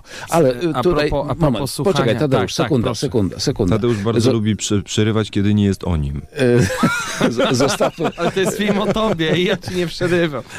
Ale jest, jest tutaj jeden wątek, który bardzo chcę e, na, na styku was właśnie tutaj poruszyć, bo Tak. jeżeli, Sebastian, mówisz, że ty lubisz wnosić coś takiego nieoczekiwanego, czyli sam nie wiesz, co się za chwilę stanie, nie wiesz, co Tak, powiesz, nieprzewidywalny No właśnie. sam dla siebie. ale, ale mamy scenariusz. co dopiero mamy scenariusz i, e, i scenariusz, którego autorem jest reżyser. E, I reżyser mówi, no zaraz, chwileczkę, to nie tak miało być. Czy to nie jest właśnie to, co e, może się przyczepić jako łatka do aktora, że jest trudny, no bo nie współpracuje ze scenariuszem. I chce zmieniać, tak? Tak. Ja myślę, że jest kreatywny i, i ja myślę, że na tym też polega praca, praca z aktorem, że my musimy mieć ze sobą taki dialog, być otwarci na to, że czasami nawet chwilę przed ujęciem może się coś zmienić. No, to, to nie jest tylko tak, że tak Sebastian ma, czy ja mam. Przecież wystarczy popatrzeć sobie na Spielberga, na Nolana, e, którzy w kulisach, wywiadach bardzo często przyznają, że w scenariuszu było jedno, e, w ramach ustaleń z aktorem było drugie, a na planie w dany dzień, kiedy dany aktor wstał, powiedział: Słuchaj, nie, mam na to pomysł taki. I błyskawicznie godził się na to reżyser, i później my bijemy na tych filmach brawo, albo są przyznawane im Oscary za to. I dokładnie tak było teraz, że my musimy mieć przede wszystkim do siebie zaufanie. E, I myślę, że takie zaufanie nam się udało z Sebastianem osiągnąć. E, Czasami było trudniej, czasami Wydaje było... mi się, że bardziej ty do mnie. Że, że, że jednak reżyser do aktora... Sebastian, masz duże nazwisko. I ja się po prostu czasami ciebie też bałem. ale Mówię, to- czy ja ogarnę, Ale moje nazwisko, ogarnę tak rasowego aktora. E, moje, więc moje nazwisko... Myślę, że się udało. No. Moje nazwisko jest, i- i- jest może duże, ale y, ja nigdy się nim y, jakoś nie posługiwałem. W sensie, No, Ale przedstawiasz się jako Nigdy- Fabiański. ale, tak, tak, oczywiście. Rozumiem, że nie zasłaniasz się. Nie, coś. nie, że- nie, w tak, sensie, tak. bo to jest też tak, że e, bardzo często moim zdaniem mylnie ludzie sobie coś wyobrażają na temat tych właśnie typu fabijański, tak, że to są tacy i oni są tacy i oni są na pewno tacy i tak dalej. Otóż ja na przykład nie zaobserwowałem w sobie i w trakcie swojej drogi artystycznej, żeby mi soduwa strzeliła do głowy, żebym ja nagle poczuł, że mi się należy. Tak? Jakby nie, nie, nie, nie, nie wydaje mi się, żebym miał taki moment kiedykolwiek. I wydaje mi się też jednocześnie, że niezależnie od. Niezależnie jaką nagrodę bym dostał, czy, czy, czy jak nawet gdybym dostał Oscara, to by się ze mną nie wydarzyło, bo ja mam cały czas ten głód i ten niepokój, który mnie tak naprawdę rwie. Mhm. Czyli I- można pójść na bankiet po Oscarze, a można pójść do fast fooda, To jak to niektórzy robią. tak? Ja, Tak. ja, ja jakoś tak ym, nie gloryfikowałem nigdy y, swojego e, nazwiska, natomiast myślę, że e, Tadek wracając jeszcze do tematu, że to jednak reżyser zatrudniając aktora mm, jednak to on musi się wykazać większym zaufaniem niż e, Aktor do reżysera. E, tak, bo ja tak naprawdę jako aktor i powinienem w sumie, tak jak się mówi brzydko bardzo, aktor jest od grania jak mm, mm, od srania, e, czego bardzo nie lubię, ale niestety trochę tak to jest odbierane wielokrotnie, tak, że Mhm. aktor jest pacynką, jest jakąś marionetką, która przyjdzie i zrobi e, to, co reżyser każe. I i wychodząc z takiego założenia i wychodząc z takiego, jakby nawet patrząc na hierarchię, tak? Mhm. no to, to ja muszę być podległy, tak? I oczywiście ja o tą niepodległość bardzo często walczę i może dlatego mm, e, e, W filmach również. tak, często jestem, często jestem jakoś tam mm, właśnie tak definiowany jako trudny. Natomiast cał, c- wydaje mi się, że, mm, że to zaufanie jednak, które myślę, że koniec końców zbudowałeś sobie do mnie, bo wiesz, ty mogłeś myśleć, że ja mam jakieś pomysły na swoją rolę, y, które ci kompletnie nie leżą i które nie będą tożsame w ogóle z tym, co ty chciałbyś zrobić. I mogło tak być przecież, nie? Przecież dlaczego nie? No, Ale było mieć... dobrze. Ja jestem zadowolony. Sebastian, w ogóle nie mam żadnych wątpliwości. Recenzenci nie mają żadnych wątpliwości i to jest, się cieszę, że jak były pokazy kolaudacyjne w Dobra, polskim... kiedy zdjęcia do następnego filmu lepiej mi powiedz? I czy możesz nie, mi zapłacić razie- zaliczkę? Na, To, to, panowie, to może tak. to- Tutaj te sprawy zostawmy na boku, to ja zakończę anegdotą to, tą Tak. część. Y, Zmarły niestety dzisiaj, to znaczy tak. właściwie wczoraj już w tej chwili, bo, bo mamy 11 stycznia, Janusz Janusz Majewski, z którym miałem okazję spotkać się ostatnio parokrotnie e, i, i, i wysłuchać jego opowieści o filmach. Mówił mi mniej więcej e, rzecz taką, kiedy był, mówię tutaj o reżyserze takich filmów jak Zazdrość i Medycyna, Zaklęte Rewiry, czy Sprawa Gorgonowej, już nie mówiąc o, e, o innych, czy, czy CK Dezerterzy, czy Złoto Dezerterów, e, z tych najbardziej znanych, bo przecież i kilkadziesiąt miał i filmów, i, i, i spektakli e, teatralnych w swoim portfolio. Otóż, kiedy był młodym, jeszcze początkującym reżyserem w latach 60., y, to kiedy zapraszał aktorów na plan, no to oni mówi, no ale dlaczego pan nas nie, nie strofuje? Dlaczego pan nam nic nie mówi? Dlaczego pan nam, nami nie kieruje w ogóle? No bo mi się wszystko podoba, co robicie. po prostu. Filip. Bajon, Filip Bajon kiedyś zapytałem go, O, w filmie. Filip, dlaczego ty nie, nie robisz castingów? Bo ja u niego na żadnym castingu nie byłem nigdy. On e, zobaczył mnie w spektaklu Krzysztofa Majchrzaka Ecce Homo e, w szkole teatralnej dyplomowym i potem się zgłosił do mnie, żebym zagrał Zbyszka e, w Paniach Dulskich, a potem się zgłosił do mnie, żebym zagrał mm, w kamerdynerze.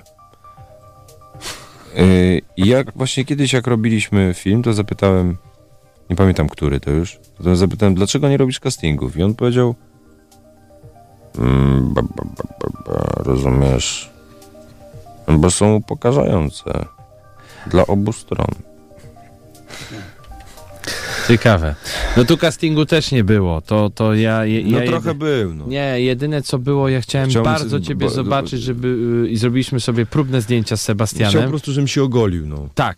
To był warunek, mówię, Sebastian musi się ogolić, ale słuchajcie, ja tak powiem, że mm, Sebastian się bardzo zaangażował. On się zaangażował do ponadprzeciętnie i myślę, że tego nie jeden aktor w tym kraju powinien się od niego uczyć, e, bo Bo jeszcze mnie e, bardziej będą lubić teraz. z okazji, ale słuchajcie, z, powstał świetny, świetny utwór, e, który jest też wynikiem splotu wielu wspaniałych artystów, między innymi Sokołowa Podlaskiego, Sokołowianie.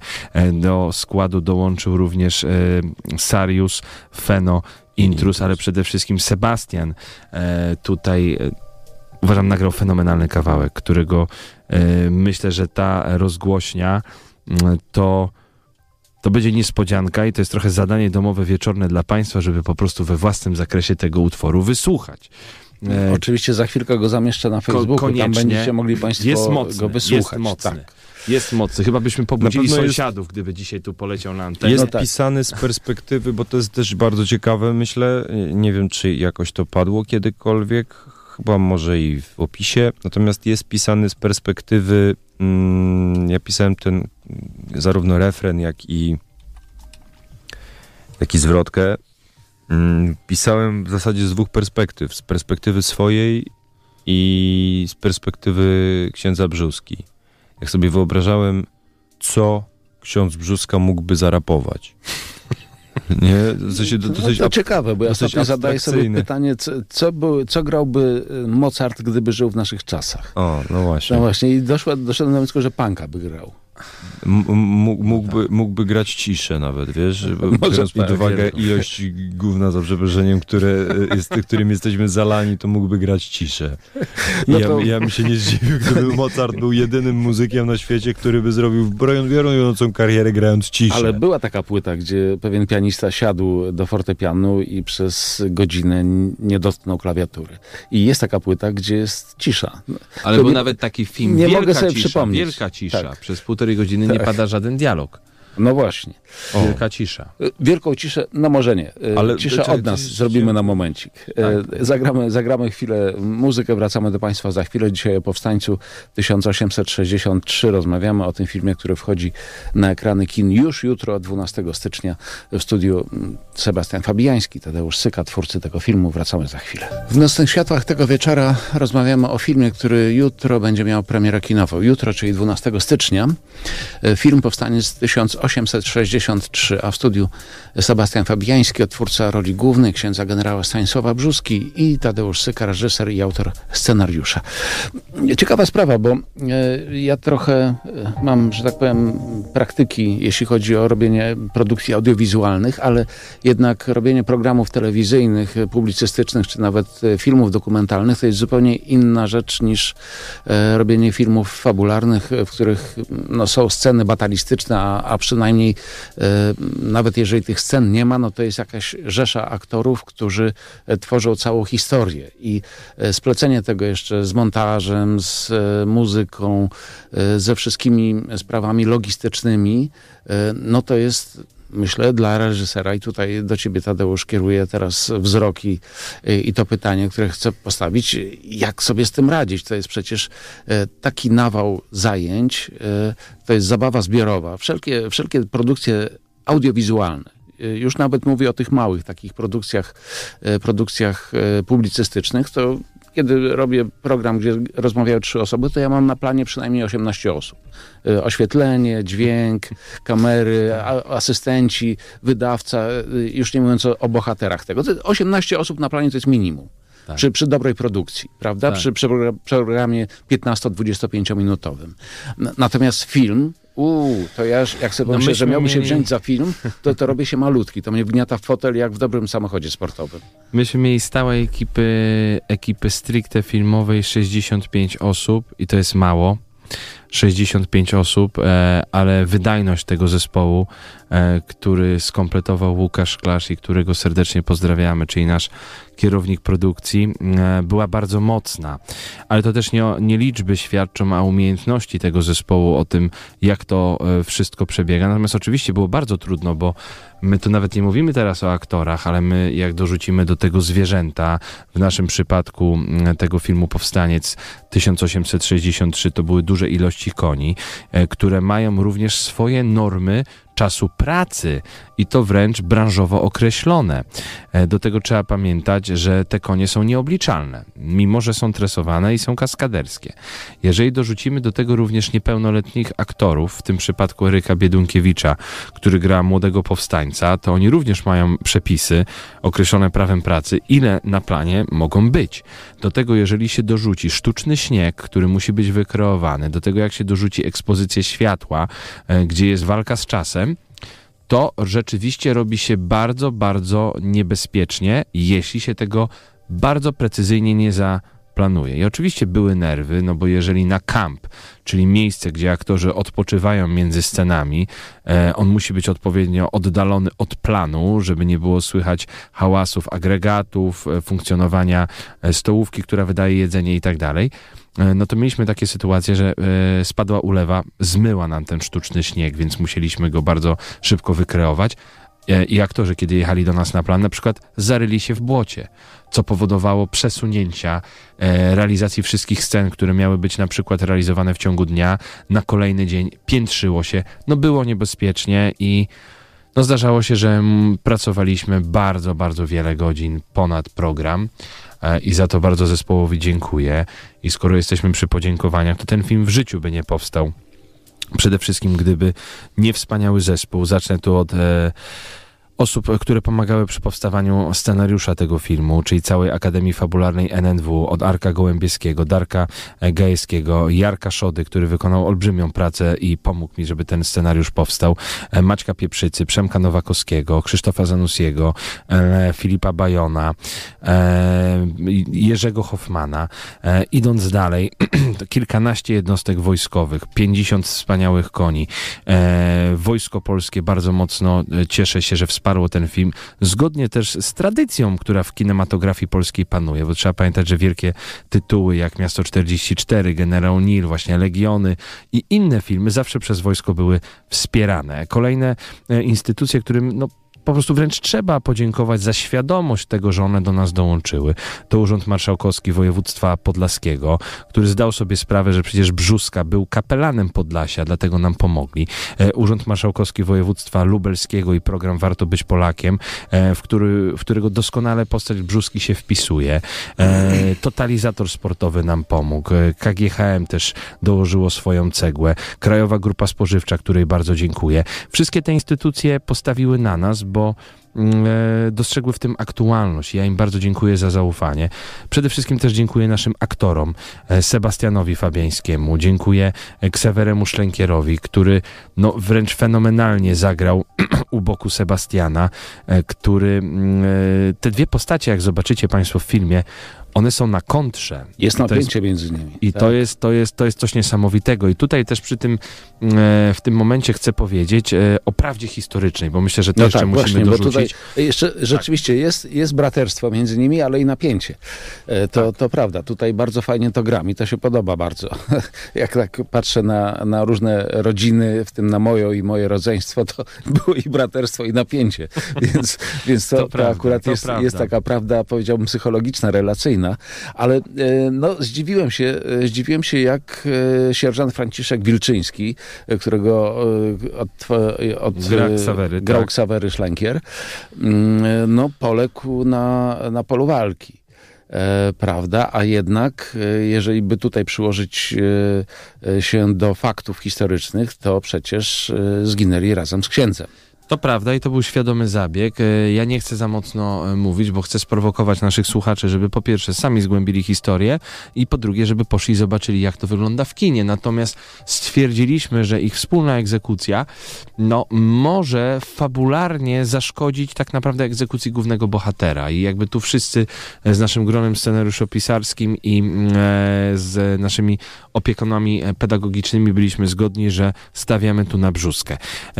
O kolejnych rzeczach nie chcę mówić. Ja chcę sprowokować widzów do tego, żeby się zagłębili, żeby nie słyszeć czasami e, od e, wielu młodych niestety ludzi, którzy z przekonaniem do mnie mówią, a kolejny film o powstaniu antyniemieckim, a przecież powstanie styczniowe już tyle razy było w kinematografii, po co znowu o tym 1944 roku opowiadać? Więc tego typu niestety przykre, przykre, bez braku świadomości informacje się pojawiają. Ale tak jak mówię, ten film trzeba zobaczyć. Zachęcam Państwa, żeby zobaczyć zwiastun tego filmu. E, od 12 września ten film będzie w kinach. E, z dumą mogę powiedzieć, że jest to pierwsza produkcja po 30 latach fabularna od filmu Szwadron.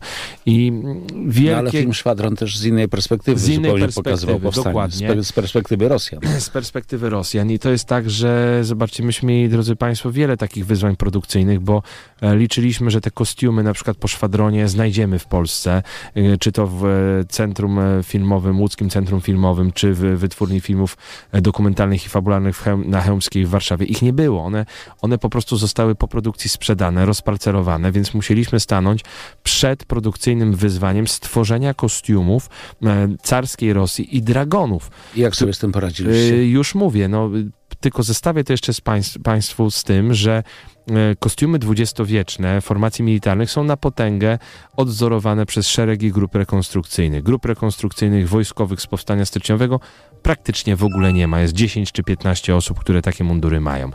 E, z pomocą przyszło nam z pomocą przyszło nam państwowe przedsiębiorstwo Rakon, które w lot podłapało i pomogło nam zorganizować materiał przy e, współpracy z Muzeum Wojska Polskiego, Muzeum Historii Polski, któremu bardzo również dziękujemy za pomoc.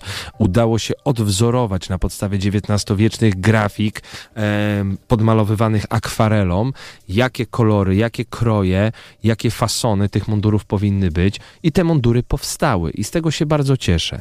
I jeszcze raz tym wszystkim ludziom dziękuję za ogrom serca, jutro z Sebastianem jedziemy do tak naprawdę serca tych wydarzeń. Jutro będziemy na pokazie przedpremierowym w Sokołowie Podlaskim, gdzie zapowiedziało się blisko 500 osób. E, złożymy kwiaty też, myślę, pod pomnikiem księdza Brzuski, bo jemu się to należy. Jemu się to należy i to nie ma znaczenia, jakie kto ma z was poglądy polityczne. Jest to film e, aktualny. Wybierzcie się na niego do kina, bo tego wymaga po prostu zwykła ludzka przyzwoitość. Mirosław napisał na Facebooku, jako mieszkaniec Lubelszczyzny nie da się nie odwiedzić miejsc, w których my Polacy walczyliśmy o wolność. Pochylając się nad mogiłami poległych, patrząc na młody wiek żołnierzy, łza się wokół kręci, ilu ludzi oddało życie walcząc o to, żebym mógł być Polakiem, mieć ojczyznę, dom, Polskę. Panowie, dobra robota. Jest nas wielu, dla których Bóg, honor, ojczyzna to coś więcej niż zwykłe, codzienne życie z dnia na dzień. E, nasza polska ziemia jest przesiąknięta krwią ludzi, żołnierzy walczących o wolność Polski, a pamięć dzięki wam, panowie i wszystkim osobom, firmom zaangażowanym w produkcję film, e, filmu przetrwa pokolenia. Zakończę słowami. Kto nie szanuje i nie ceni swojej przeszłości, nie jest godzien szacunku teraźniejszości ani prawa do przyszłości. Pozdrawiam serdecznie, a weekend w kinie obowiązkowo. Masz Dziękujemy bardzo, bardzo mądrych i inteligentnych odbiorców. E, no i tutaj e, Michał napisał, pan Sebastian nie bierze jeńców, oczywiście jako aktor, ponieważ osobiście nie miałem tej przyjemności, by poznać. Zapraszamy na pokaz do Sokołowa, to pan go jutro pozna. E, ja muszę przyznać jeszcze, że kochani, że mm, ja się cieszę, jeszcze raz to podkreślę, no mogliśmy przejść obojętnie względem tego filmu, tej tematyki i nie powstałoby znowu nic. Eee, podkreślam, że filmów o II wojnie światowej, o powstaniu warszawskim, fabularnych, a już w ogóle o PRL-u, który z perspektywy producenckiej jest dużo prostszy do wyprodukowania, eee, z uwagi na kostiumy, wnętrza, samochody, powstaje w ciągu roku cztery albo pięć.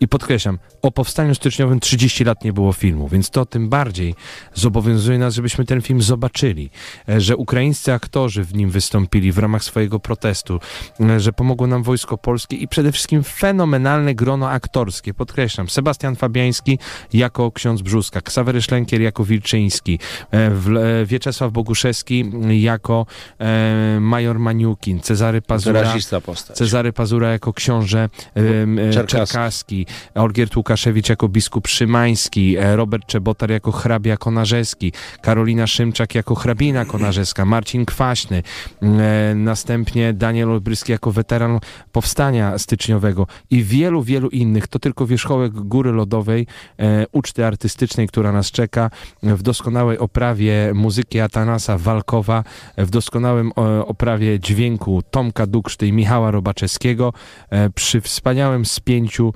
produkcyjnym kierownika produkcji Łukasza Szklarza, którego teraz pozdrawiamy i przy wyjątkowej pomocy Jarka Szody, który nam pomógł spiąć te wszystkie rzeczy. Należy się tym e, ludziom słowo podziękowania, bo włożyli serce, a nie musieli tego robić. No, ja też dziękuję, bo rzeczywiście film, jak, tak. już jak już wspomniałem, zrobił na mnie duże wrażenie i e, nie mówię tego tylko i wyłącznie grzecznościowo, dlatego że przyjąłem was tutaj do studia i, i, nie wypada inaczej. No nie, film po prostu mi się podobał. E, jestem dosyć, jak powiedziałem, krytycznym widzem, więc e, to, to mm, myślę ma znaczenie dla mnie, że, że taki film powstał i że, e, że jest właśnie w taki sposób pokazany, a nie inny. Bo oczywiście można by spojrzeć na tę rzeczywistość tylko i wyłącznie z punktu widzenia batalistycznego. Pokazać w skrócie pewną historię um, pewnego oddziału, czy, czy pewnej postaci, która gdzieś wchodzi w te wydarzenia e, powstańcze tego zrywu i gdzieś tam e, do, dobiega, dobiega jego koniec albo los powstania się kończy. Natomiast tutaj jest rzeczywiście ta postać, która i dla mnie ma znaczenie i która mnie frapowała, jak już wspomniałem o tym, a jednocześnie jestem spoiwem dla dziejów powstania, które, co by nie mówić, jest jednak, e, jak już tutaj wspomnieliśmy, w tle. Za chwilę ostatnie minuty dzisiejszego wydania programu, w którym, e, przypominam, mówimy o filmie Powstaniec 1863 przed jego premierą kinową jutrzejszą, 12 stycznia. Sebastian Fabiański, Tadeusz Syka są w studiu. Za chwilę ostatnie minuty dzisiejszego wydania Nocnych Świateł. Ostatnie minuty dzisiejszego wydania Nocnych Świateł rozmawiamy o powstańcu 1863. Film pod takim tytułem wchodzi na ekrany już jutro, 12 stycznia. Tadeusz Syka, reżyser i autor scenariusza filmu, Sebastian Fabiański, odtwórca głównej roli, księdza generała Stanisława Brzuski. Dzisiaj są gośćmi Nocnych Świateł, państwa i moimi. E, I e, ostatnie minuty chciałbym też, żebyśmy poświęcili temu e, jak wygląda współpraca na planie z aktorami, e, no, z którymi może nie zawsze jest e, jakoś e, się blisko, może nie zawsze ma się mm, jakieś specjalnie sympatyczne konotacje, może też to są osoby, z którymi się mm, jakoś rzadko spotyka, bo to jest inne pokolenie, jak chociażby Daniel Olbryski, Olgierd Łukaszewicz czy e, Cezary Pazura. E, no myślę, że łatwiej jest gdzieś tam w swoim, tak przynajmniej sobie wyobrażam, w swoim środowisku mm, takim pokoleniowym, na przykład z Ksawerem Szlenkierem, się, się porozumieć. Sebastianie, jak to jest? Jak, jak się spotyka mm, jako taki aktor, który no, wchodzi e, w środowisko jednak osób, które mają już za sobą bardzo długą historię. E, no, można powiedzieć, że są pewne, pewnego rodzaju legendami polskiej kinematografii. No ja miałem tę przyjemność, że ja grałem z bardzo wieloma legendami. Mm, bo grałem też i z Januszem Gajosem i oczywiście z Danielem Lubryskim. Eee, z Bogusławem Lindą, czy Janem Fryczem, czy no nie chcę tu nikogo pominąć, a, a wielu ich było. Natomiast ja mam zawsze tak, że ja nie patrzę przez ten pryzmat. W sensie, że też między innymi dlatego, dlatego mnie e, ze szkół teatralnych wywalali. Bo ja jakoś nie wiem, nigdy nie miałem takiego. Ktoś może mi przypinać, że to jest jakiś, nie wiem, brak pokory, tak? Że. że ja nie patrzyłem. Ja, ja w ogóle w życiu, nie, na przykład nigdy w życiu nie chciałem sobie zrobić z nikim zdjęcia. Żebym ja poprosił jakąś moją, jak, ja nie wiem, jakiegoś mojego idola, tak, eee, żeby sobie zrobić ze mną zdjęcie. Ja nie mam takiej wewnętrznej w ogóle potrzeby. I ja tych, te le legendy i tych aktorów ja traktuję po prostu jak kompanów w wspólnej sprawie. I oczywiście no nie wiem, mo, mo, może to i nie, niedobrze, może to nie wiem, może ja jakoś powinienem się zachowywać inaczej, może ja powinienem e, jakoś tak bardziej dżentelmeńsko, bardziej tak z taką ogładą i, i, i, i kindersztubą i tak dalej, i tak dalej, ale ja nie, nie, nie wiem, no po prostu to są ludzie. To jest tak samo, jak ja bym dzisiaj miał stanąć na planie, nie wiem, z aktorami typu Leonardo DiCaprio, Al Pacino, Robert De Niro i tak dalej. Ja autentycznie wam mówię, ja nie miałbym poczucia, że ja, że mi kolana miękną. Nie no, spotykamy się w to są też ludzie. konkretnej to są sprawie. Ludzie. To, że ci ludzie akurat urodzili się w takim, a nie innym kraju, w którym kinematografia wychodzi na cały świat, tak, i są znani na całym świecie, to nie jest moja wina. Zasadniczo. Tak? Więc dl dlaczego ja mam hierarchizować w ogóle tego, czy ktoś jest y, ważniejszy, czy lepszy, czy ma więcej na koncie, czy mniej na koncie. Wielokrotnie było tak, że to było niemalże na odwrót. Że ci, którzy mm, mieli mniejsze, za mówiąc, zasługi, byli dużo bardziej mm, dużo bardziej jakby poświęcali się projektowi i dużo bardziej, dużo lepiej się z nimi współpracowało niż z tymi, którzy trochę już mogą sobie pozwolić na odcinanie kuponów. Ale też bywało zupełnie na odwrót. Czyli ci, którzy nie mają za bardzo prawa do tego, żeby sobie, żeby, znaczy nie mają tych zasług, nazwijmy to, oni zachowywali się tak, jakby je mieli. Nie? I, i kurde, to, to jest. Nie wiem, no ja. Ja zwykłem traktować swoich partnerów na planie jak po prostu partnerów, a, a nie kogoś, wobec kogo muszę się zachowywać w jakiś określony sposób, tak? W sensie... Ja miałem takie podobne poczucie, to tak szybko opowiadając z tego, jak na to na planie wyglądało, że taka aura od razu była mm, takiej serdeczności, na przykład z Czarkiem Pazurą, który wszedł w tą rolę niesłychanie dobrze. E, jak się okazuje, e, perfekt zna rosyjski, więc swoją rolę odegrał Właśnie znakomicie. o to miałem zapytać. Czy to rzeczywiście on mówił? Tak, to Bo rzeczywiście wyglądało on na to po ruchu ust. I że mieliśmy mm, e, skrypt, czyli osobę, która zajmuje się zgodnością, kontynuacją na filmie. Wzięliśmy e, rosyjskojęzyczną osobę, która nie miała żadnych zastrzeżeń do e, języka e, Czarka Pazury. Daniel Olbryski, który biegał po okopach jako weteran powstania styczniowego, zawstydzając niejednego osiemnastolatka.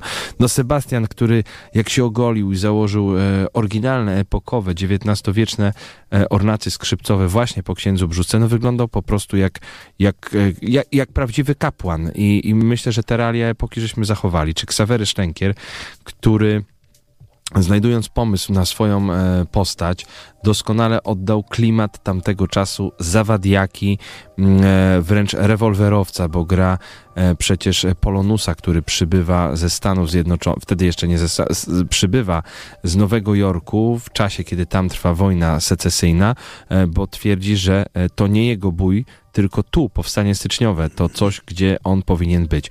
No ja myślę, że ta współpraca bardzo dobrze się układała. Dla mnie jest to bardzo cenne doświadczenie i cieszę się, że aktorzy, przede wszystkim widząc aktualność w tym temacie, też w taki profesjonalny sposób, bardzo precyzyjnie do tego podeszli. E, Raz jeszcze dziękuję wszystkim twórcom, Państwa serdecznie zapraszam do tego. Pozdrawiam szczególnie też moją małżonkę Jannę, która włożyła olbrzymi trud w to, aby ten film powstał, bo była moją wielką inspiracją do tego, e, żeby żeby iść naprzód. I też przy tej okazji pozdrawiamy księdza właśnie Macieja Majka, całą diecezję siedlecką, Drohiczyńską, ziemię lubelską, całe Podlasie i was wszystkich w całej Polsce, gdzie nas słuchacie i nie tylko. E, I szczególne też pozdrowienia dla e, mecenasa Marka Małeckiego i całej jego kancelarii, która z dużą życzliwością podeszła do tego filmu. A ja jeszcze na moment wrócę do postaci księdza, bo e, jeżeli rozmawialiśmy tutaj o tym wcielaniu się w e, różne postaci, to jednak ksiądz to jest pewna, pewna osoba, która żyje na pograniczu dwóch światów, czyli właśnie tego świata tutaj naszego, tego, które możemy zmierzyć, które ma długość, szerokość, wysokość, ale i jest ten świat, do którego on przeprowadza ludzi e, i, i na pograniczu, którego on funkcjonuje, czy ten e, świat transcendentny, ten świat, w którym, e, w którym jest rzeczywistość inna, do której jak ktoś wierzy i, i, i, i praktykuje, to, to wierze podąża. I jak tutaj w takiej sytuacji się odnaleźć, kiedy no, wchodzi się w rolę nie tylko człowieka z krwi i kości, ale człowieka, który żyje też w innej przestrzeni. Jednak to już jest e, modlitwa, to jest jedno. E, to, to jest rzeczywiście jakaś forma mm, pokazania człowieka, który jest w dialogu z Bogiem, ale jednak gdzieś za tym stoi ta rzeczywistość, która jest niewidzialna. E, czy to jest pewien trud dla aktora, żeby, żeby to oddać?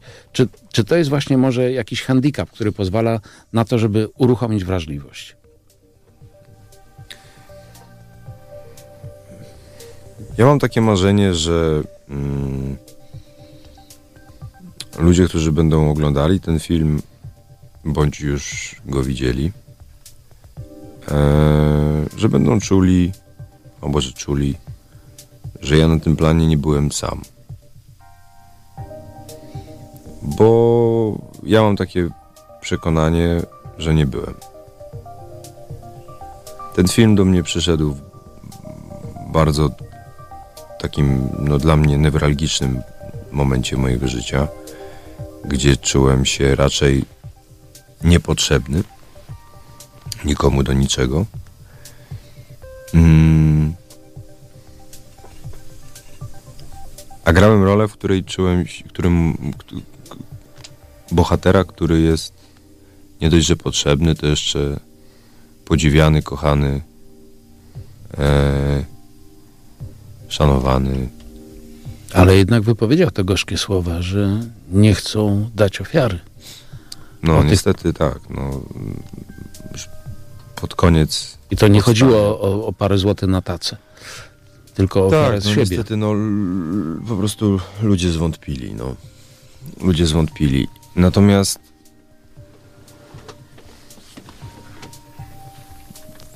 koniec końców dał świadectwo. Tak, dał świadectwo wiary, dał świadectwo miłości, dał świadectwo przynależności, patriotyzmu. Mm. I dla mnie ta właśnie mm, warstwa, nazwijmy to, transcendentna, jest taką samą tajemnicą, jak i dla ciebie. Po prostu rzeczy się dzieją, a ja czasem się czuję jak jakiś przekaźnik. Nie wiem czego. Mam nadzieję, że dobra. I na pewno jako brzuska jestem przekaźnikiem dobra. Potwierdzam. Bo, Potwierdzam. Bo brzuska, ksiądz brzuska mm, na pewno by chciał, żeby ten film był o tym i żeby ten film to zostawił. Więc jeżeli ja miałem kontakt jakiś z księdzem Stanisławem Brzuską Świętej Pamięci, jeżeli on maczał w tym palce, że ja w tym finalnie się znalazłem, to wierzę, że zrobiłem to tak, jak chciał.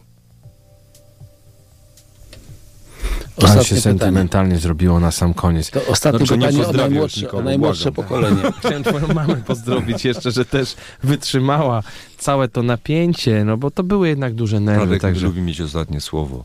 mm, zawsze Reżyser. Mówi się, że reżyser to nie zawód, tylko charakter, wiesz?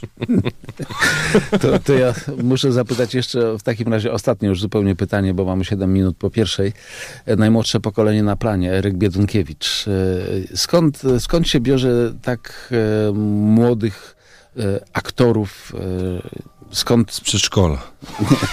E, Tutaj wielkie podziękowania nie, dla... no, zawsze mnie to intrygowało. Skąd, skąd się biorą te, te młode talenty, takie, takie, które jeszcze są w wieku właśnie no, późnego przedszkola, czy, czy szkoły podstawowej, jedno góra liceum? To akurat się tak złożyło, że tutaj Adam Albert e, Lenart, e, czyli też doskonały operator, e, wiedząc, że szukamy takiej persony, polecił mi Eryka e, z wcześniejszego filmu Kajtek Czarodziej. E, I kiedy zobaczyłem materiały próbne, spotkaliśmy się z Erykiem e, i od razu stwierdziłem, że tak, to jest ta postać, której szukamy. Jeżeli jeszcze się okazało, że Eryk doskonale śpiewa, wykorzystaliśmy to w scenariuszu i wpletliśmy to w historię, wykorzystując e, stare XIX-wieczne utwory, które no, przenosiły nas, zwłaszcza w klamrze kompozycyjnej tego filmu. Także Eryk Biedunkiewicz myślę, że bardzo się spisał. To jest coś, co y, ja chciałem, żeby to tak było, a przypomnijmy, że Eryk, czyli 16-letni bohater, gra młodego weterana, późniejszego weterana, w którego wciela się Daniel Olbryski. Proszę Państwa, 8 minut po pierwszej Którego zamykamy. serdecznie pozdrawiamy. Tak. Pozdrawiamy. Zamykamy dzisiejsze spotkanie w Nocnych Światłach, które poświęcone było e, filmowi Powstaniec 1863. Film od jutra, od piątku 12 stycznia w kinach w całej Polsce. Państwa i moimi gośćmi byli e, Sebastian Fabiański, odtwórca głównej roli księdza generała Stanisława Brzuski. Wielkie dzięki za spotkanie dzisiejsze.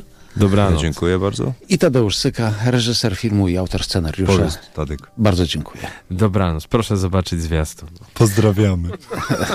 Zwiastun jak zwiastun, ale ja poproszę reżysera, żeby zaprosił do kina. Koniecznie 12 s- stycznia, szanowni państwo, w ramach tego, co się teraz dzieje, 160. rocznicy wybuchu powstania styczniowego i roku Trauguta, który w tej chwili jest ogłoszony, wybierzcie się do kini po 30 latach, zobaczcie wyjątkowy film o księdzu Brzusze, w którego wciela się doskonale Sebastian Fabiański. Pozdrawiamy. Pozdrawiamy, dziękuję Państwu za uwagę, dziękuję gościom przede wszystkim, dziękuję wszystkim Państwu, którzy byliście z nami przez te minione dwie godziny i zapraszam do Nocnych Świateł od poniedziałku do czwartku. Spotykamy się tuż po 23 na 120 minut. Zapraszam, e, by słuchać nas na częstotliwościach lokalnych Radia Plus w całym kraju, przez radio, na całym świecie, przez internet ze strony radioplus.pl. Dziękuję za wszystkie wpisy na Facebooku. Przepraszam, jeżeli e, czegoś nie przeczytaliśmy. E, I zapraszam na jutrzejsze spotkanie. Jutro e, będziemy odkodowywać Ewangelię, a gościem Państwa i moim e, będzie Piotr Słabek, teolog, rekolekcjonista i redaktor naczelny wydawnictwa M. Omawiać będziemy najnowszą książkę kardynała Rysia, Klucz do Ewangelii świętego Łukasza. To jutro, a na dzisiaj kończymy. Paweł Krzemiński, dziękuję za uwagę. Dobrej nocy, zostańcie z Bogiem. Do usłyszenia.